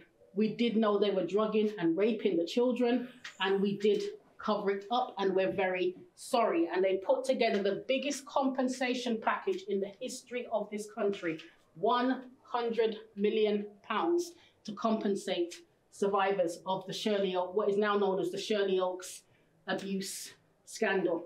That was my childhood from 2 to 16. I got married when I was 25 to a Nigerian, I'm Jamaican, a Nigerian who beat me for two, six years through two pregnancies. I remember he would beat the crap out of me even when my belly was absolutely massive. When I decided to leave him, um, I was, oh, I think my kids were four and six when I decided to leave my ex-husband. And in the kitchen one day, I said to him, I, I, I can't do this anymore. I've had enough. I thought he punched me. Remember, I have a very high pain threshold, so I thought it was somebody just tapped me on my side. I looked down and there was a knife sticking out of my side. His words were, I will kill you before I see you leave me. If my neighbor hadn't heard me screaming, you would never have met me because I'd be buried in a cemetery in London somewhere. That was how we ended up moving here to Sheffield 15 years ago. We were moved here by police and social services because they said he's not going to stop trying. He's going to kill you. We moved here, we lived the first seven months in a refuge. Two weeks after we moved here, I woke up in the middle of the night. My daughter was wheezing, she's an asthmatic. My youngest daughter took her to the doctors in the morning while I was talking to the receptionist and saying, There's something wrong with my child. I had her in my arms and my five year old by my side, and I just felt her body go. And I turned her face over, and her mouth was blue. She stopped breathing right there in the doctor's surgery. Now, bearing in mind, you're looking at a woman with severe mental health issues. I've been diagnosed with borderline personality disorder, PTSD, a whole range of mental health issues based on my childhood and abuse. To, for you to move something from, you move this, I put this pen here and you move it here, that for me is, I need the pen to be here because I, I, struggle with change. So can you imagine moving to a different city, no friends, no family, no home, no job, no car. I lost everything and I'm living in a strange refuge with women I don't know. Wake up in the morning, my daughter's not well, take her to the hospital. I remember the doctor saying to me when we, we got to the hospital, Miss Myrie, sit down. And you know when they say sit down, Uh-oh. it's not going to be good. And he said, Miss Myrie, your daughter has pneumonia. And the medication we're giving her for the pneumonia isn't working because of her underlying issue, which is the asthma. So he said, What's happened is all the fluid that was on her chest from the cold has gone into her lungs. Her lungs have collapsed. That's putting pressure on the heart. So the heart is failing, the kidney is failing, the liver is failing. If you have any friends or family, tell them to come. Your daughter will be dead within the next 24 hours. This was two weeks after moving here in a refuge. I had nothing but the clothes and the, we stood in, a couple of suitcases. All I had left, as far as I was concerned, to lose was my children. And now you're telling me one of them is dying call friends and family. The same friends and family that if they knew where I was would tell my ex-husband so he could come and finish the job. So I'm thinking, I can't call anybody.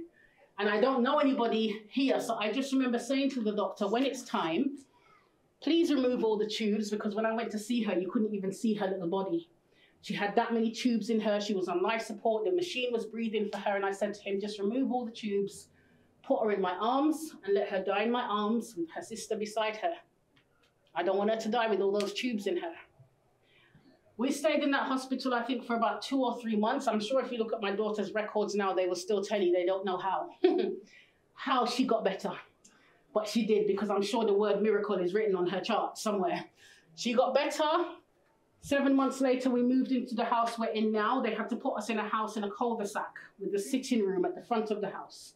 They had to put alarms. Till this day, I still have alarms on all my windows all my doors in the house because my ex-husband's still trying to find me and kill me. So we have a house that's front facing, so every car, every person that comes into my cul-de-sac, I can see them coming in. And the day we moved into the house, we had a cooker, a washing machine, and a bed. No flooring, no carpets, no curtains, nothing. That night, my daughter woke up in the middle of the night. Seven months, the day we moved into our new house with nothing. I recognized the signs from seven months earlier, took her to the hospital. Miss Myrie, sit down. Oh, oh, her lungs have collapsed, the liver's failing, the heart is failing, nothing's working. Um, 24 hours to live, call friends and family, she's not going to make it through the night. Seven months to the day, the day we move into our new house. And that was the, the day I remember thinking, you know what, God, I, I can't, I, I, I don't have anything left. I'm tired. I'm tired. I've been through rape and abuse and alcoholism and, and sexual violence and domestic violence and physical violence and pain and trauma and a narcissistic mother who would pimp me out to the men in the church. I've got nothing left. I remember thinking, just take me, for God's sake, just, I can't, I'm tired. Do you remember what I said about what we're carrying? And that was when I wanted to put down the backpack. And I couldn't because who was going to take it? I had no friends. I had no family. I only had my children. And if I put down the backpack with all their stuff in there, because I've still got a six year old, Mummy, why is the doctor saying Tyra's dying? Is Tyra dying, Mummy? And at that minute, I just want to, not now. But I can't put it down. I can't. Who's going to pick it up? Who's going to pick her up? Who's going to hold her sister? That's where I'm coming from. And that doesn't include the breakdowns. I had my first breakdown when my daughter was three months old because when she was born, I was so scared that people were going to hurt her the way I was abused. I wouldn't let the midwives weigh her.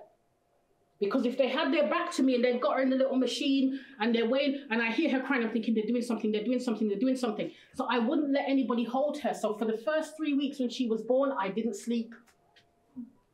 And what happened was I was sitting in the rocking chair one day, my newborn, three weeks old, and I was so tired, and I'm rocking away, and I fell asleep. And guess what happened? The baby dropped. Three weeks old. She mm. fell out of my arms because I fell asleep in the chair. Woke up, took her to the hospital. Thank God she was fine. But that was when they gave me an ultimatum. Miss Myrie, while you're not abusing your child, you're still a danger to your child. Because you're, you're, you're, you won't let anybody hold her. And you're not sleeping because you're thinking people are going to hurt her. So you've got two options either go into a psychiatric ward for mothers and babies, or we take your three week old baby away and put her into care. So that was my first no, before that, I went into to section because I tried to, to, terminate the pregnancy when they told me that they couldn't let me know whether or not I would harm her when she was born. So I remember leaving the doctor's office when I was seven months pregnant. I asked for a termination because I said I'd rather kill my child in the womb than have her born and I abuse her. And he said, Miss Myrie, you're seven months pregnant. it's too late. We can't terminate. And I said, yeah, but what if when she's born, I harm her and I break her bones and I break her fingers for not getting her homework right, just like my mother did to me? And he said, we cannot terminate. You're too far gone. And I said, okay, no problem. I walked out of his office, found the first flight of stairs and threw myself head first down the stairs because I thought, if you're not going to terminate her, I'm going to terminate her. I spent two months in hospital, slept on a spine board. When I came out, they wheeled me across the road to the Maudsley mental ward in London. That was my first input into the psychiatric wards, and I've been sectioned and put on medication and straight jackets, and ever since. But I told you that because I need you to see that the road to what you want to be, what you want to become, the, the, the big CEO, the company owner, the astronaut. Oh, you might not have to go through what I went through, but believe you me, you will spend your life pulling knives out of your back and your front. Years ago, people, your friends, your family, would stab you in the back. Now people will stab you in the front because they want you to know. I want you to know I did it. So they're not stabbing you in the back and running away anymore. They're stabbing you so you can see it was me. And that's your friend. You tell your friend, I've got this great business idea. Who knows how Facebook got started? Three people started Facebook. in a, in a college room. And Mark Zuckerberg stole the idea. What? Well, I thought he was the one that came up with it. No, it was three of them came up with the idea. He went behind his friend's back, stole the idea, and started Facebook. They sued him and got 10 million each. Now, that they were friends. So don't think, you know, oh, it's important for you to know that I am CEO of my organization. And I now get to talk in, in the House of Parliament, and I get to, I'm a, um, a consultant for the CQC, and I do a lot of work with Sheffield Health and Social Care and all these big organizations, and I get paid a lot of money to do all these talks, serious amount of money, just two and a half hours. I will charge £550 just to talk for two and a half hours. The other day, somebody asked me to speak for five minutes, and they paid me £50. And people look at that and think, I, I, I want that. God, talking for 10 minutes and I get paid 50 pounds. I'll talk for an hour. Because they think, oh my God, you made it. You but do you see what I had to go through? And do you believe me when I'm still carrying all this? Don't get it twisted. When I became CEO, all this didn't melt away. All this didn't disappear. I still carry it. I just carry it well. Because we're all so good at wearing masks. We're all so good at smiling and pretending that everything is is fine. And this is why I say to people, stop using those two words, safe space, safe space. Oh, come to, what's the name of this place? Um, Element, because Element is a safe space. Come to Sheffield City Council Town Hall. It's, come to my house. Your house is not a safe space. Element is not a safe space because Element is brick. Your house is made of brick and wood. So your house is not my safe space. This building is not my safe space. You are the safe space. You and you, if you say to me, come to my house, you are my safe space. Because if I come to your house and you open the door and you're like, what do you want? I don't feel welcome. Or if you open the door and you're stood there like, I'm not welcome. If I come here and Tashinga and I'm trying to talk to her, she's got she's invited me here to speak.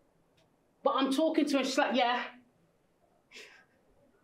you're no longer my safe space. So it's not the building that's the safe space. It is you, your tone, your body language, your look. You're your mother's safe space. You're your father's safe space. You're your brothers, your sisters, your husband, your wives, your partners, safe space. If your boyfriend comes home and says, Babe, I've had a hard day at college or uni or work, and you're like, He's, okay, so I won't bother. Suddenly, you're no longer his safe space. If your mum says, you know what, oh, I'm really struggling to pay this bill and I don't know what, oh, for God's sake, mum, you're no longer your mother's safe space. So stop telling people, come to, this is a, set. you need to become somebody's safe space. I hope you've enjoyed my presentation. Have you got any questions? This is why I told you to put me second so that it's not. Have you got any questions? And bearing in mind, there is no question you can ask me that's too personal, too deep, too racist.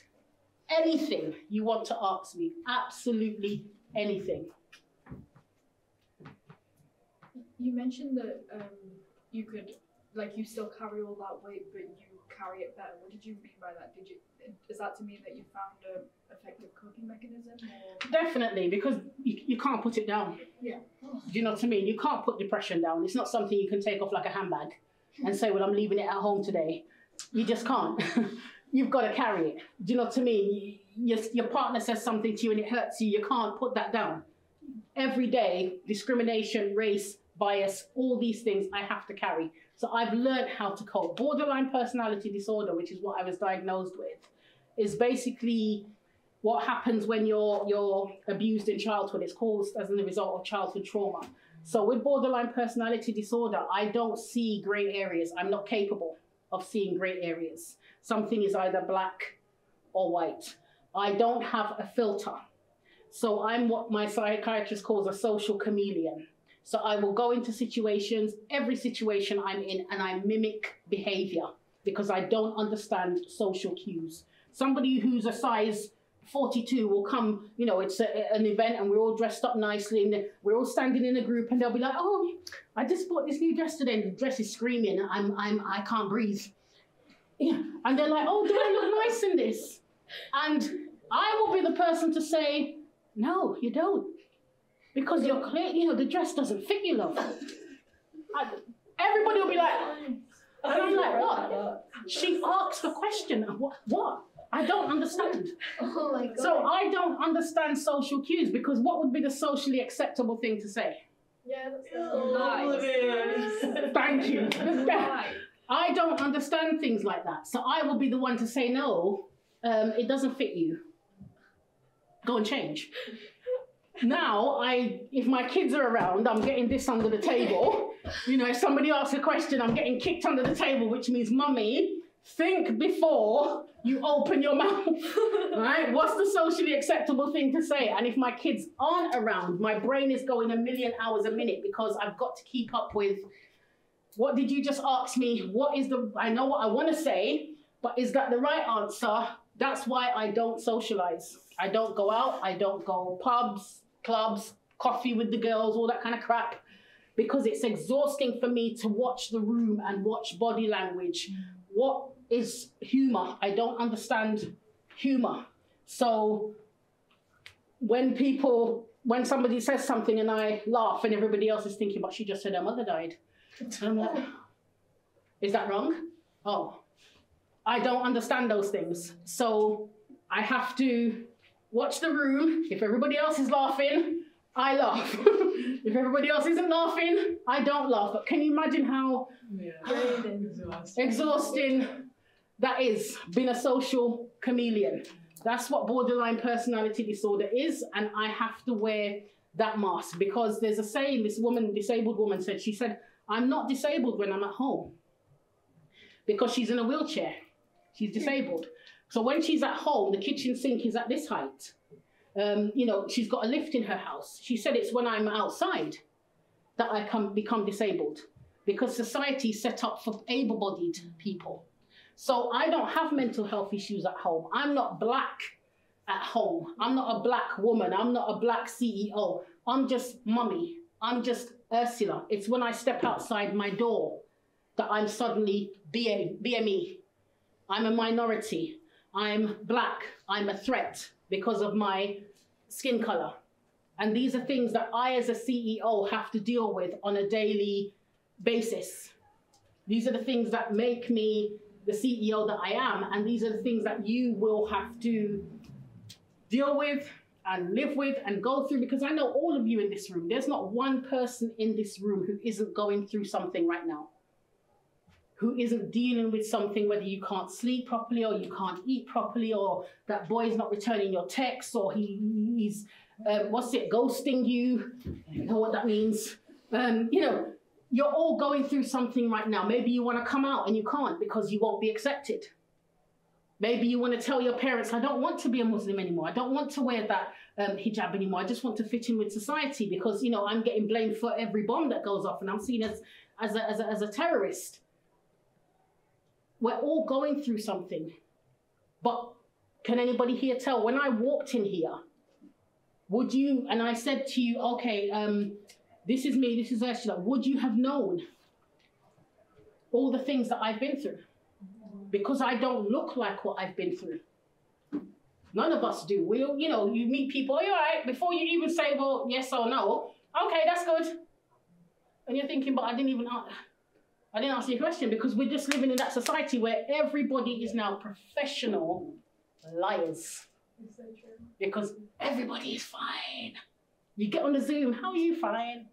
You're all right, love? Yeah, fine. I'm the only person in the Zoom. If I've had a bad day, you're going to hear about it because I don't have a filter, you know. And people love me. They're like, "Oh, thank God, you're so refreshing because everybody's fine." I'll be like, "Actually, no. That man this morning, he got on my last nerve, and I, because I'm not capable of. That's why when I do things, I have to put a filter in place. Before I leave my house, I have to put a filter in place because I don't always have my kids to be doing this. So I have to put in my own filter to just get me through the day so I'm not offending people or upsetting people. Aroni, who did your the talk with the beads, that's my eldest daughter. Yeah. Yeah, I heard her call you mom. I was like, oh, okay. That's my eldest, and I've got a younger daughter. Now she's been through the breakdowns. She's watched mummy be sectioned. She's been taken into, into care by social services. She's watched mummy on and off medication. She's seen mummy come upstairs and mummy was fine one minute and suddenly mummy's got a bandage on because I've been in the bathroom self-harming and what's that mummy? Oh, I just fell, but I didn't see you fall, mummy. hmm but I did. But if you didn't know that she'd been raised by a mother like me, what did you think when you saw her presentation? What did you think of her? Very talented. Young, successful, she must have had an amazing childhood. Nope. Raised by a mother with serious mental health issues, consistently sectioned, having to go to school, deal with mommy's issues, deal with her sister being in and out of hospital for the first six years, constantly told she's dying. That was what the, the girl who stood in front of you has dealt with. What we're all so good at the presentation on the outside but underneath. But it just goes to show because people say to me, What's your relationship like with your children? I broke the cycle. I've never put my hand on my children. I've never beat them the way I was beaten. I've never called them stupid like my mother used to tell me, You're ugly, you're too black, you're too stupid, you're too useless, you're too pathetic. Every day, my mother would tell me that I've never told my children that. I have a very warm, affectionate even though they say that I'm too affectionate, my kids, because I'm always hugging them, Oh, always kissing them. Just two years ago, my youngest, she was 20, came and sat on my lap one day, randomly, I'm watching TV, minding my business. Came and sat on my lap, she said, You know, Mum, I had the best childhood ever. And I was like, So where was I when you were having this childhood? because that's not what I remember. I remember the breakdowns and the sectionings and, you know, you lot crying and been taken into care. Where was I when you were having this childhood? They said, Yeah, but mommy, you were at every single sports day. Never missed one. You were at every school play. You were at every parents' evening. You never allowed us to have a sleepover until we were 15. You never allowed us to wear makeup until we were 16.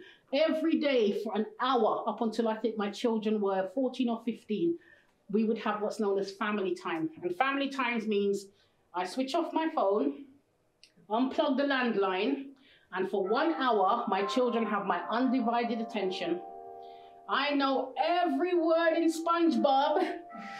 Every, I swear to God, every word in SpongeBob. Zoe, Zoe, what is it? Zoe and Bob, Zoe and somebody, um, all these Disney Channel things.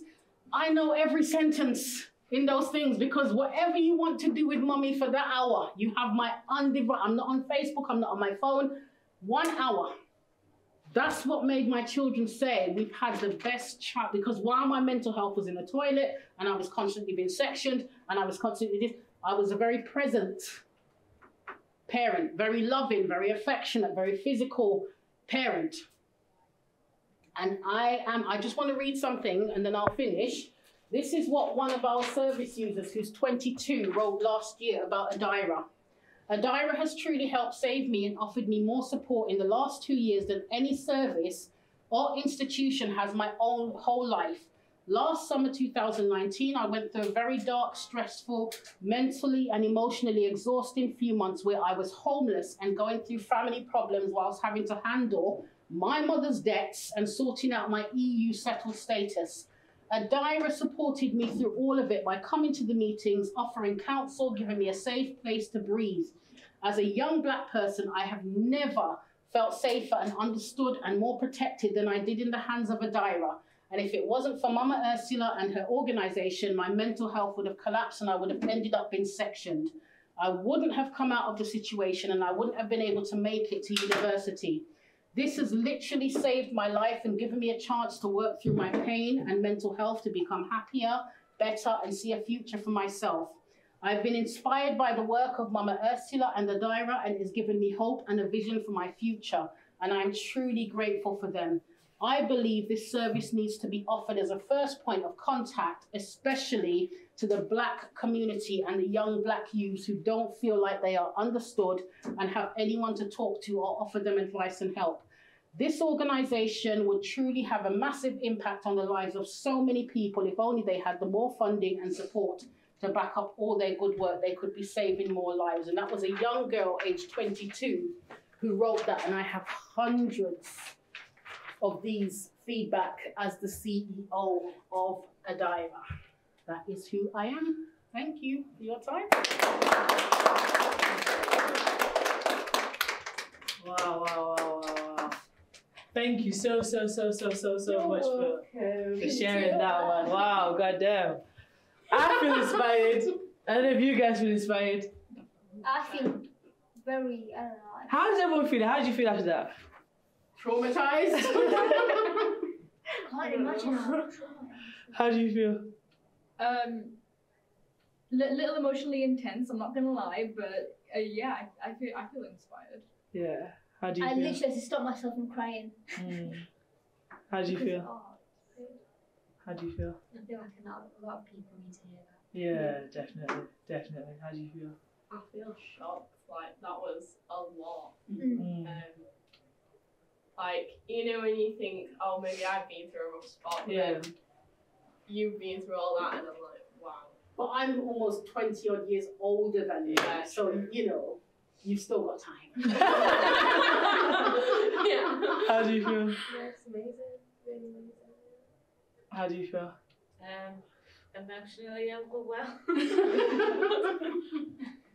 Do you know what? It's one of the things that you have to like. You just have to sit that back and process Yeah. everything. Mm. But I feel like a positive we need to take out is that even though we all go through a lot and you can go through so so many intense situations like that, you can still come out the other Yes. side and inspire other people and use it as like a story of survival and just be able to impact so many young people and just make sure that people hear this message, know that they're not alone in what they're going through and just make the world a better place. Like it's amazing. we thank you so much for being here and sharing like your time and your wisdom as well. Like even there, I was thinking, wow.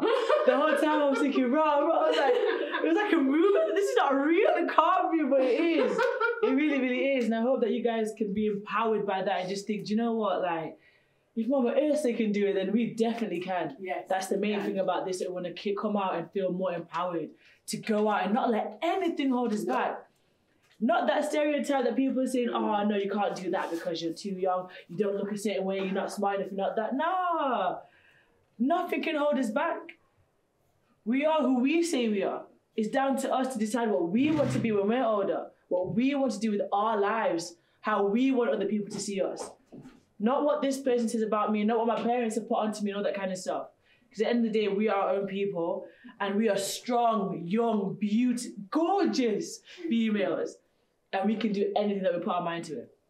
And whilst we're talking about sort of stereotypes and careers and all that kind of stuff, my lovely, lovely, lovely, gorgeous friend Renoi here has got like a very inspirational story, just to sort of show that just because you don't fit in the status quo that tells you that you're destined to go, your parents are astronauts, so you're going to inherit this amazing life, so you can become a pilot you want do all that kind of stuff. But your mom was just a cleaner, so you can't do anything. You're probably going to end up, I don't know, maybe you can be a dog walker, but that's about it. But nah, that's not how it works because we're now the new generation. And we're not all about just inheriting stuff because we're going to write our own legacy. We're going to create our own narrative. And we're the main characters in our stories. Read it if you want, but you're not an editor. You're not even a publisher because that's my book, that's my story, that's what I'm writing. And it's something that we're continuously going to be writing. And guess what? If we don't want the story anymore, it's okay, we can change it now. We have the power to adapt and become who we want to be, grow into these beautiful swans, create our own empires, and nobody can tell you different. Does that make sense to everyone? Amazing. So, Renaud, over to you, my darling. Right. I feel like I'm not ready then. I feel like still a bit overwhelmed. But no, honestly, it's a bit, it's a bit much to follow. Everybody says that when they've got to speak after me. They're always like, nah. Yeah, because what am I supposed to say now? Okay, so um, my story is more just like about what I'm doing now and how I got to this stage that I'm at now. And I hope it like inspires you guys, but I'm not sure what sort of careers you'll want to go into. I heard like a few bits and bobs, but I'm not sure. But anyway, so I'll start like right from the beginning.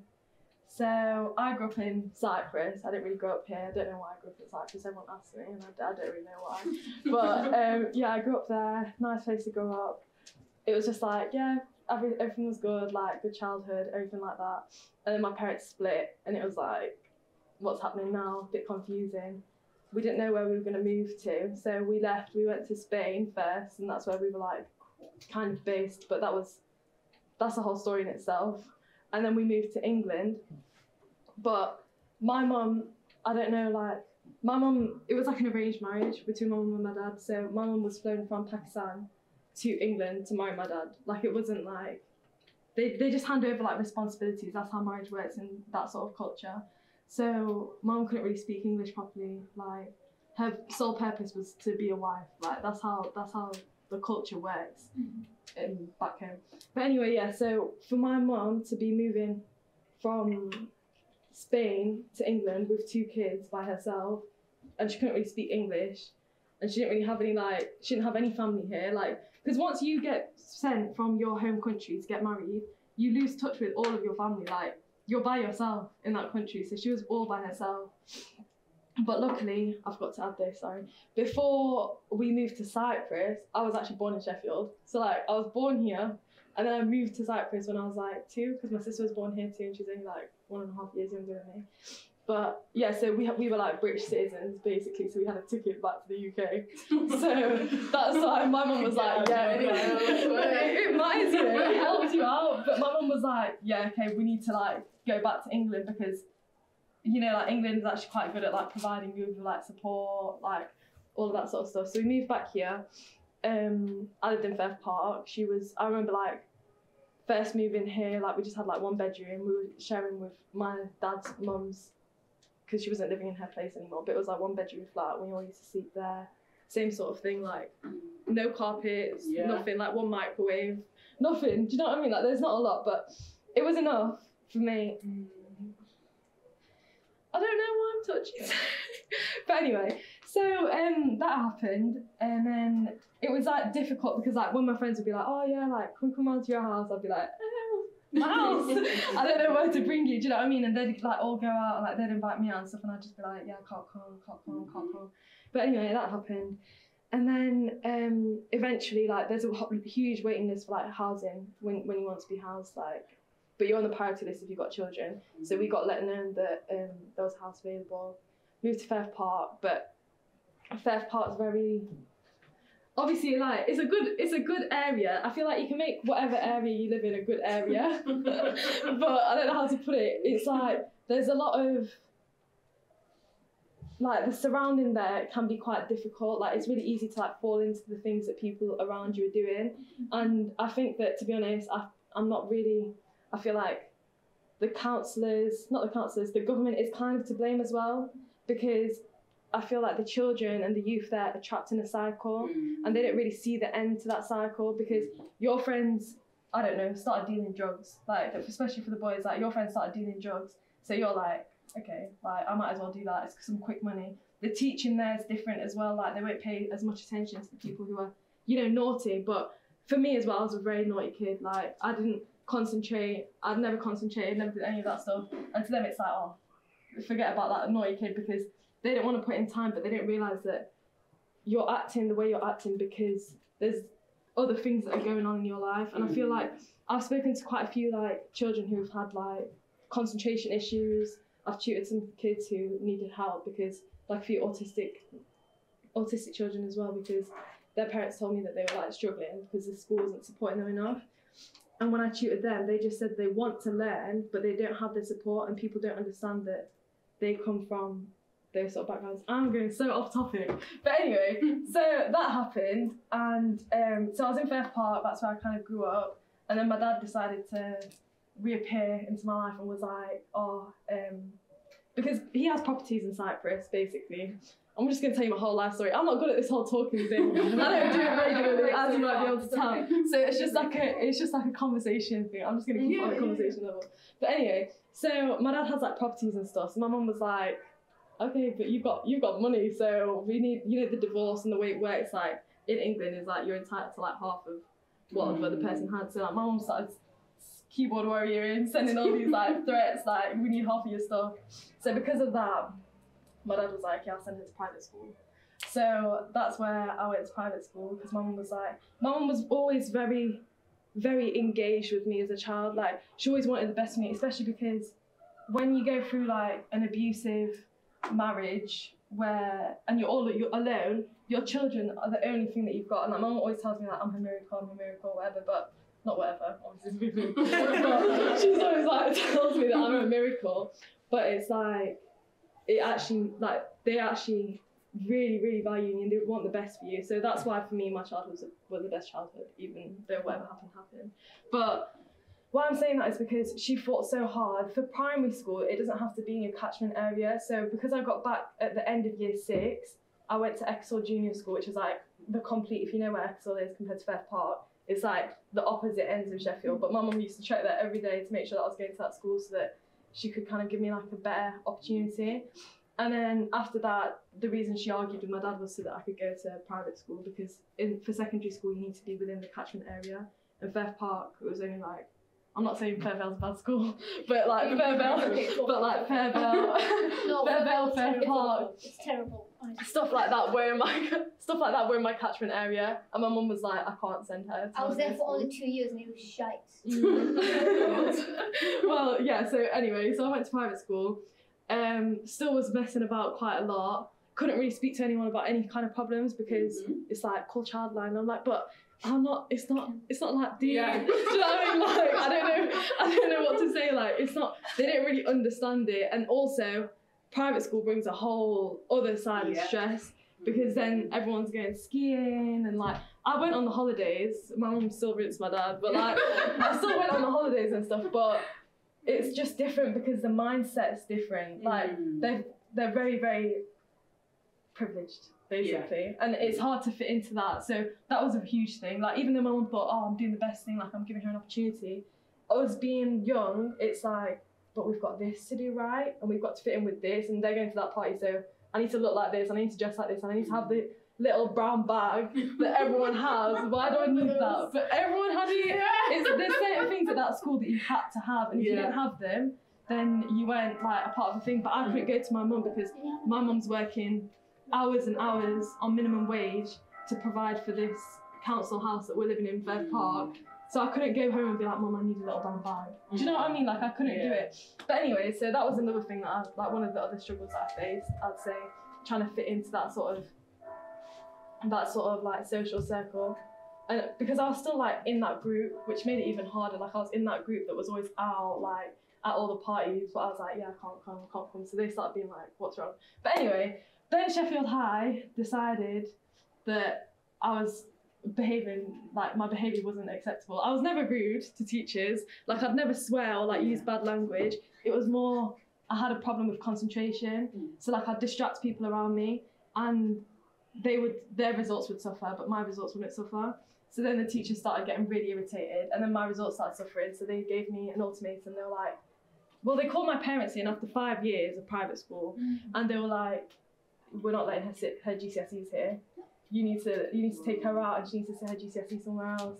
And my parents were like, we've paid for five years and that's like 50, 50, 60k that it mm. adds up to.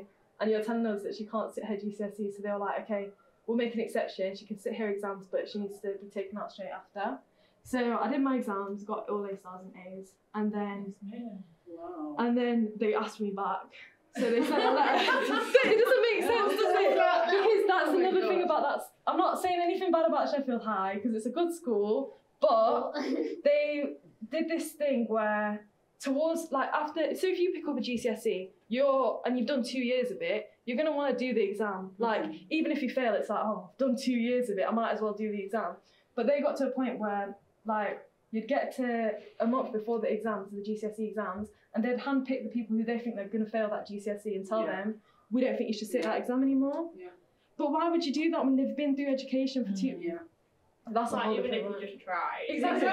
Yeah, at least. Like, exactly because at the end of the day you could get a C, Yeah, but they don't want their scoreboard that's right. to yeah. look bad because Yeah. it affects the school's reputation. That's right. Mm-hmm. So I don't know, but that's their way of doing things. And that, it was so funny to me when they sent me that letter back saying, "Hi, like we'd But love to have you back." then. And I was like, "I'm not coming back." But anyway, so then I went to Tapton, and yeah, moving from a girls all girls school to a state school, even though Tapton was like ranked the next best one after the girls' school, because my parents were like, if you want to leave the girls' school, you have to go to the next, like, do you know what I mean? The Next next, best best school, yeah. like, we need to keep you on locks basically still. So I was like, okay. Went to Tapton, too much freedom, because in Sheffield High, you are kind of spoon fed, do DofE, go on a school trip, do one extracurricular activity, you do one humanity, one language, one. Do you know what I mean? Like, they Mm. literally make the perfect report for you. But at Tapton, it's like, there you go, you've got three hours free every day, you can do whatever you want with your time, manage it. And I was just like, I'm out every day, not coming to lessons, getting on called in sixth form. Like, there was a lot of things that were going wrong at home anyway, like, there was other things that were going on. But my way of dealing with it was like, school was like my free time. Like, I'd go to school and I'd just like relax. Yeah, like, it was like my social time, but school isn't social time. Mm. But anyway, and then also like when teachers start, there was one teacher who was really racist, really really racist. I'm not even gonna mention names, but anyway, she was really racist, and she used to be like, she'd made comments, and she had kind of like a reputation at that school. And as soon as I started going to her lessons, she started like picking on me, and it was very very obvious that she was picking on me. And I don't react well to situations like that. Oh like I lose concentration straight away. Like I won't engage in the lesson. Hmm. I'll just kind of like it was it was the wrong way to handle the situation basically because I'll talk about how the right way to handle the situation is after because obviously I fixed it after but in that moment in time I was just like I don't want to do it like I don't want to be sat in this classroom where I'm being targeted do you know what I mean like being picked on all the time because it just makes you feel like what's the point in even doing anything so got kicked out of Tapton um, because I got basically Tapton's the only school in Sheffield that still do um, the AS levels. I don't know if they're still doing it, but they were doing it while I was there. So if you don't get three Ds, then you get kicked out. But there was no way I was gonna get three Ds. Like I was used to kind of just floating through GCSEs, like it's all right, and then A levels just hit me like a truck. So I wasn't mm. used to like the independent learning side of things. So yeah, I failed. I got used in all of my subjects. I didn't do anything. The invigilators were looking at me the exam like, what is she doing? I was just sat there like, I didn't answer any of the questions on the paper because I'm one of them people, like I know my potential and I knew I wasn't going to achieve my potential. So I was like, it's such a stubborn and arrogant mindset. I don't advise it to anyone. But I was like, if I'm not going to get like an A, then I don't want anything. Like I'm not going to do the exam because that's just like I don't want to do it. That's just how bad my mindset was. That was me at GCSEs. Like, I didn't do my maths. I just flew. Yeah, exactly. Like it's the wrong. Yeah, but it's the wrong mindset because now I realise like it's about consist. Anyway, we'll talk about that in a second. But it's about consistency. But anyway, so I got kicked out of that school, and I kid you not, they said they would make exceptions normally, but because of my track record and like how bad my attendance was and how bad like everything else was, like my whatever the complaints that I was getting was, they were like, sorry, like you need to go, and all the teachers were kind of like. One teacher, she used to say in front of me all the time, like, she's going round and round in circles, like, she's not going to get anywhere. Oh, what do you mean I'm not going to get anywhere? Like, you can't speak, no matter how much you feel like that about the student, you can't speak like that in front of a student. Like, you need to be professional, you need to carry yourself in a certain manner, but she didn't. Um, but yeah, so I left that school. I was like, that's when I hit like a reality check because sixth form's actually quite important. College is important. Like, whatever education you're in, it's important to take it seriously at the time because you don't realise until after that it's kind of too late. Like, no one told me that I can't retake the same A levels. So I thought, oh, I'm getting kicked out of sixth form. That's all right. I'll go and I'll do because I was doing physics, chemistry, and maths A level. So I thought I'll leave and I'll go do it somewhere else. But I left, and no other sixth form in Sheffield was like, "We'll take you on." They were all like, "Sorry, your funding because you get a certain amount of funding from the government. It's been used up, so you can't you can't do- redo your thing." So I was just like stressed, and then my parents were like, "What the hell did we pay for private school for? Like, what are you doing?" But eventually, I was gonna go to Hillsborough College, but then King Edwards. I don't know why they were taking on. They were taking on like they had some more spaces, so they were taking on more people. So I got in there, Um, and I still had no idea what I wanted to do. And I feel like it's an important thing to understand that you don't need to know what you want to do right now. And I feel like that's where I'm gonna like that's what this talk's really about. But I know it took me a long time to get there, but you don't really need to know what you want to do because I had no clue what I wanted to do until this one day at King Edward's when it was like a women in engineering day. And these, uh, the only reason I went outside was because there were some Ferraris. They, brought some like Ferraris into school, and they were like, "Oh yeah, like there's some cars. Like everyone's taking pictures in the cars. You got to sit inside and like rev the engine." I was like, "I'm quite a fan girl. Like I do like cars." so I was like, "Oh, like I'm gonna go have a look." Went downstairs, which is where, where it was. Looked at the cars. I was like taking pictures and everything. And then this lady came up to me. She was like, "You're right."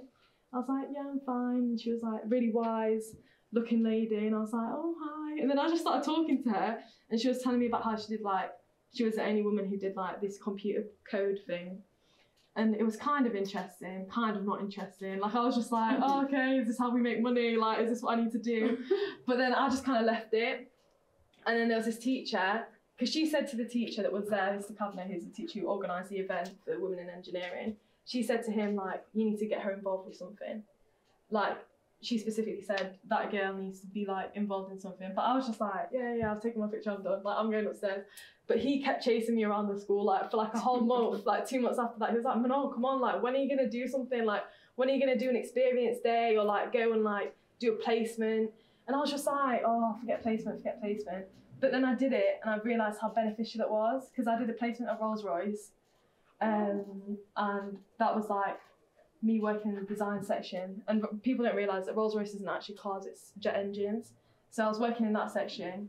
Um, and the first day I hated it, but after that I loved it. And this is the thing, I feel like for you to actually understand what you want to do, the only thing I can say to you is like experience.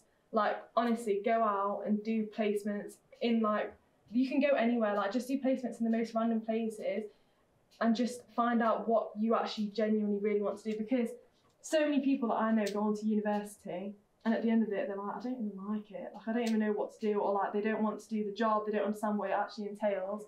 But if you actually do the placement and you do the experience, you understand what you're passionate about. Because I think so many people are lost, like with do you guys feel passionate about the things that you want to do? Mhm. That's so good. That was really good. because not a lot of people do. And when like that's why I think the education system's a bit old fashioned and I do think that it needs to be changed. Because what I'm doing now is an apprenticeship. So through that placement that I did, I went on to do another placement because I, I was just like, it was like a light bulb moment for me. Like I was like, this is what I want to do. So um, Rolls Royce is diff- like it's difficult though because there's like forty thousand applicants and two hundred people get in. But it was the only thing that I ever thought like I want it really really bad and I need to work really really hard. So I've just like took myself away from like everyone. The teachers were like complaining about me again. Like they were like, oh, she's not coming to lessons on time. I was working on my own timetable though. But they were like, she's not coming to lessons on time. She's not going to do this. She's not going to do that. She's not going to be able to achieve her results if she carries on like this.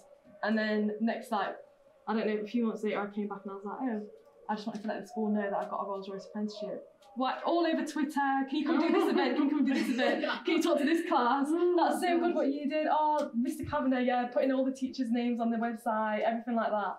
But apprenticeships, for whatever sort of thing you're going for, are really, really useful, and I feel like it's a it's an option that's ignored because there's a stigma attached to it. Mm. So with apprenticeships, like with the apprenticeship that I'm doing, I get an aerospace engineering degree, which is all paid for by Rolls Royce.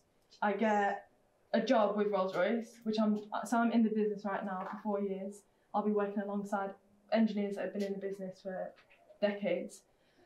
So you're getting first-hand that experience, you're getting all your stuff paid for, and you're getting paid to be there.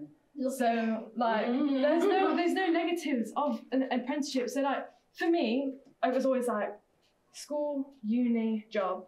But why is it school, uni, job? Because school, uni, job means you get debt, you've not got any not really got any experience. Like yeah, you're living like uni life. But I can still I try. I try to still do that. I go uni in Manchester and I feel like she's my housemate. I'm down there too much. But no, like honestly, I just think that apprenticeships, I always thought, I don't know why, I personally did look down on apprenticeships as well. Like people would tell me like, oh, I'm doing an apprenticeship, I'd be like, oh yeah, okay, cool, whatever. Like, it's not a big thing, but you can do it for, I know someone else who's doing pharmacy apprenticeship. Um, there's a like nuclear one, law ones, business ones, like there's so many different apprenticeships, and I feel like this talk has made me realise that's what I want to talk about motivating people to do apprenticeships because you get business experience, like you get real life experience. You can decide if you actually really want to be in that place, and you get a degree or a qualification at the same time. So you become so valuable to anywhere you want to go. Hmm. Because I'm not tied into State Rolls Royce. After the four years, after my education finishes, on the contract it says that I can work wherever I want to work. So it's not, and that's how most apprenticeships work. They won't say that you have to work for them because then you're kind of selling away like your your like freedom. You're kind of selling yourself to that place to work there. But at the end of that four years or three years or two years, however long the apprenticeship is, you can then say you've got all that experience, and literally anyone will take you on. So I don't really know. That's my story.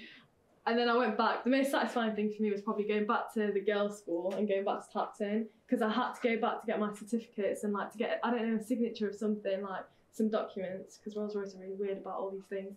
So I had to go to Sheffield High and the look on the teachers' faces. They're like, oh yeah, we've got an alumni system. Like, can we put you down for the mm-hmm. alumni? Like, you can come in and mm-hmm. talk to us. Yeah, no. And Tapton was the same. Like, they were like, you really turned turned it around for yourself. And I was like, yeah. But honestly, I just think find something that you're passionate about mm-hmm. and just stick at it because no one, no one can tell you what you can't do. Like, you can do whatever you want to do as long as you put your mind to it and like really, really believe in it and manifest it. Like, if you want something, just tell yourself that you're going to be at that stage and that you will have that. Because that's what I did. I was like, I will get this apprenticeship, even though everyone was like, mm, 40,000 people. Don't be like, even there was a guy that I was texting from Rolls Royce who was like one of the people that I did my placement with. And I remember texting him and being like, yeah, I've applied, like, I've, I've applied for the thing. He's like, there's a lot of applicants. And I'm like, okay, I've got through to the next stage. And he's like, yeah, but there's still a lot of applicants. Because they filter it down because you have the online test, you have the, you have like two presentations that you've got to give, you've got a different interview, and then there's an assessment day centre thing when you come in and you have to like do these tasks. So there's a, obviously because it's forty thousand people, they've got a way to filter it all down.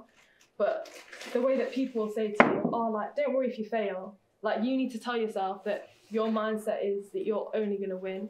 So even if you do fail, you're still going to win. I don't know how to explain it, but like you've got to have that mindset where you're not going to let anything set you back. And even though I did fail my mm. first year at Tapton, and everyone was like, "What is she going to do now?" Like, Lenore, I don't know what you're doing. You go straight A star student, and now you're doing this. You can really change things. Like there's not. It's never too late to sit down and be like, "This is what I actually want to do, and mm-hmm. I'm going to do it." And people won't understand. Like everyone's like apprenticeship, this, this, this. Like, but now they're like, "Wow, you do that." So you need to decide what you want to do, become passionate about it, motivate yourself, and just do it. And everyone else can be there when you're successful. And they'll all want to speak to you and they'll all want to be like, Can you come do this? Can you come do that? Mm. And then you can turn around and be like, I worked hard for it and you'll feel proud of it. You can tell them no. Exactly. no. No, I would go back. I'd go back and be because I think it's so satisfying. Yes. So satisfying. Yes. Like you're stood there motivating their students when they told you that you couldn't do it. Yeah. Yeah. Gonna fail. I would yeah. do the same, honestly. Yeah, exactly. Um, But yeah, that's my song. So on like this on a on a finishing point, what advice would you give these girls today? What would be your one piece of advice? to find your passion, which all of you seem to have found, and with your passion, I feel like just branch out and just look at all the different opportunities that there are actually like within that section because there's normally a lot of things that you can do and experience, experience, experience. Like I know it's a bit difficult with the whole COVID thing, but even things like this, like speaking or like going to events or like joining courses and like doing different things, meeting different people, networking is so important. It's all so important, and if you put your mind to it, you can do it. Thank you so much, man. Amazing. Oh my gosh, so so so inspiring. I actually did not know half of the things that you just said. I've known you for how long. That was honestly amazing. And just that another point to add on what you're talking about failure and stuff. Thomas Edison, famous scientist, he one of his like famous quotes that he says, He says, I never failed. I just found a thousand things that didn't work. And that's the perspective I have to say, okay, cool, it didn't really work out for me, but that just means I'm still looking for that one thing, that one thing that is right for me. So I hope you guys have found this day inspiring. I hope you guys feel more empowered. The next event and the last event is again is on Saturday.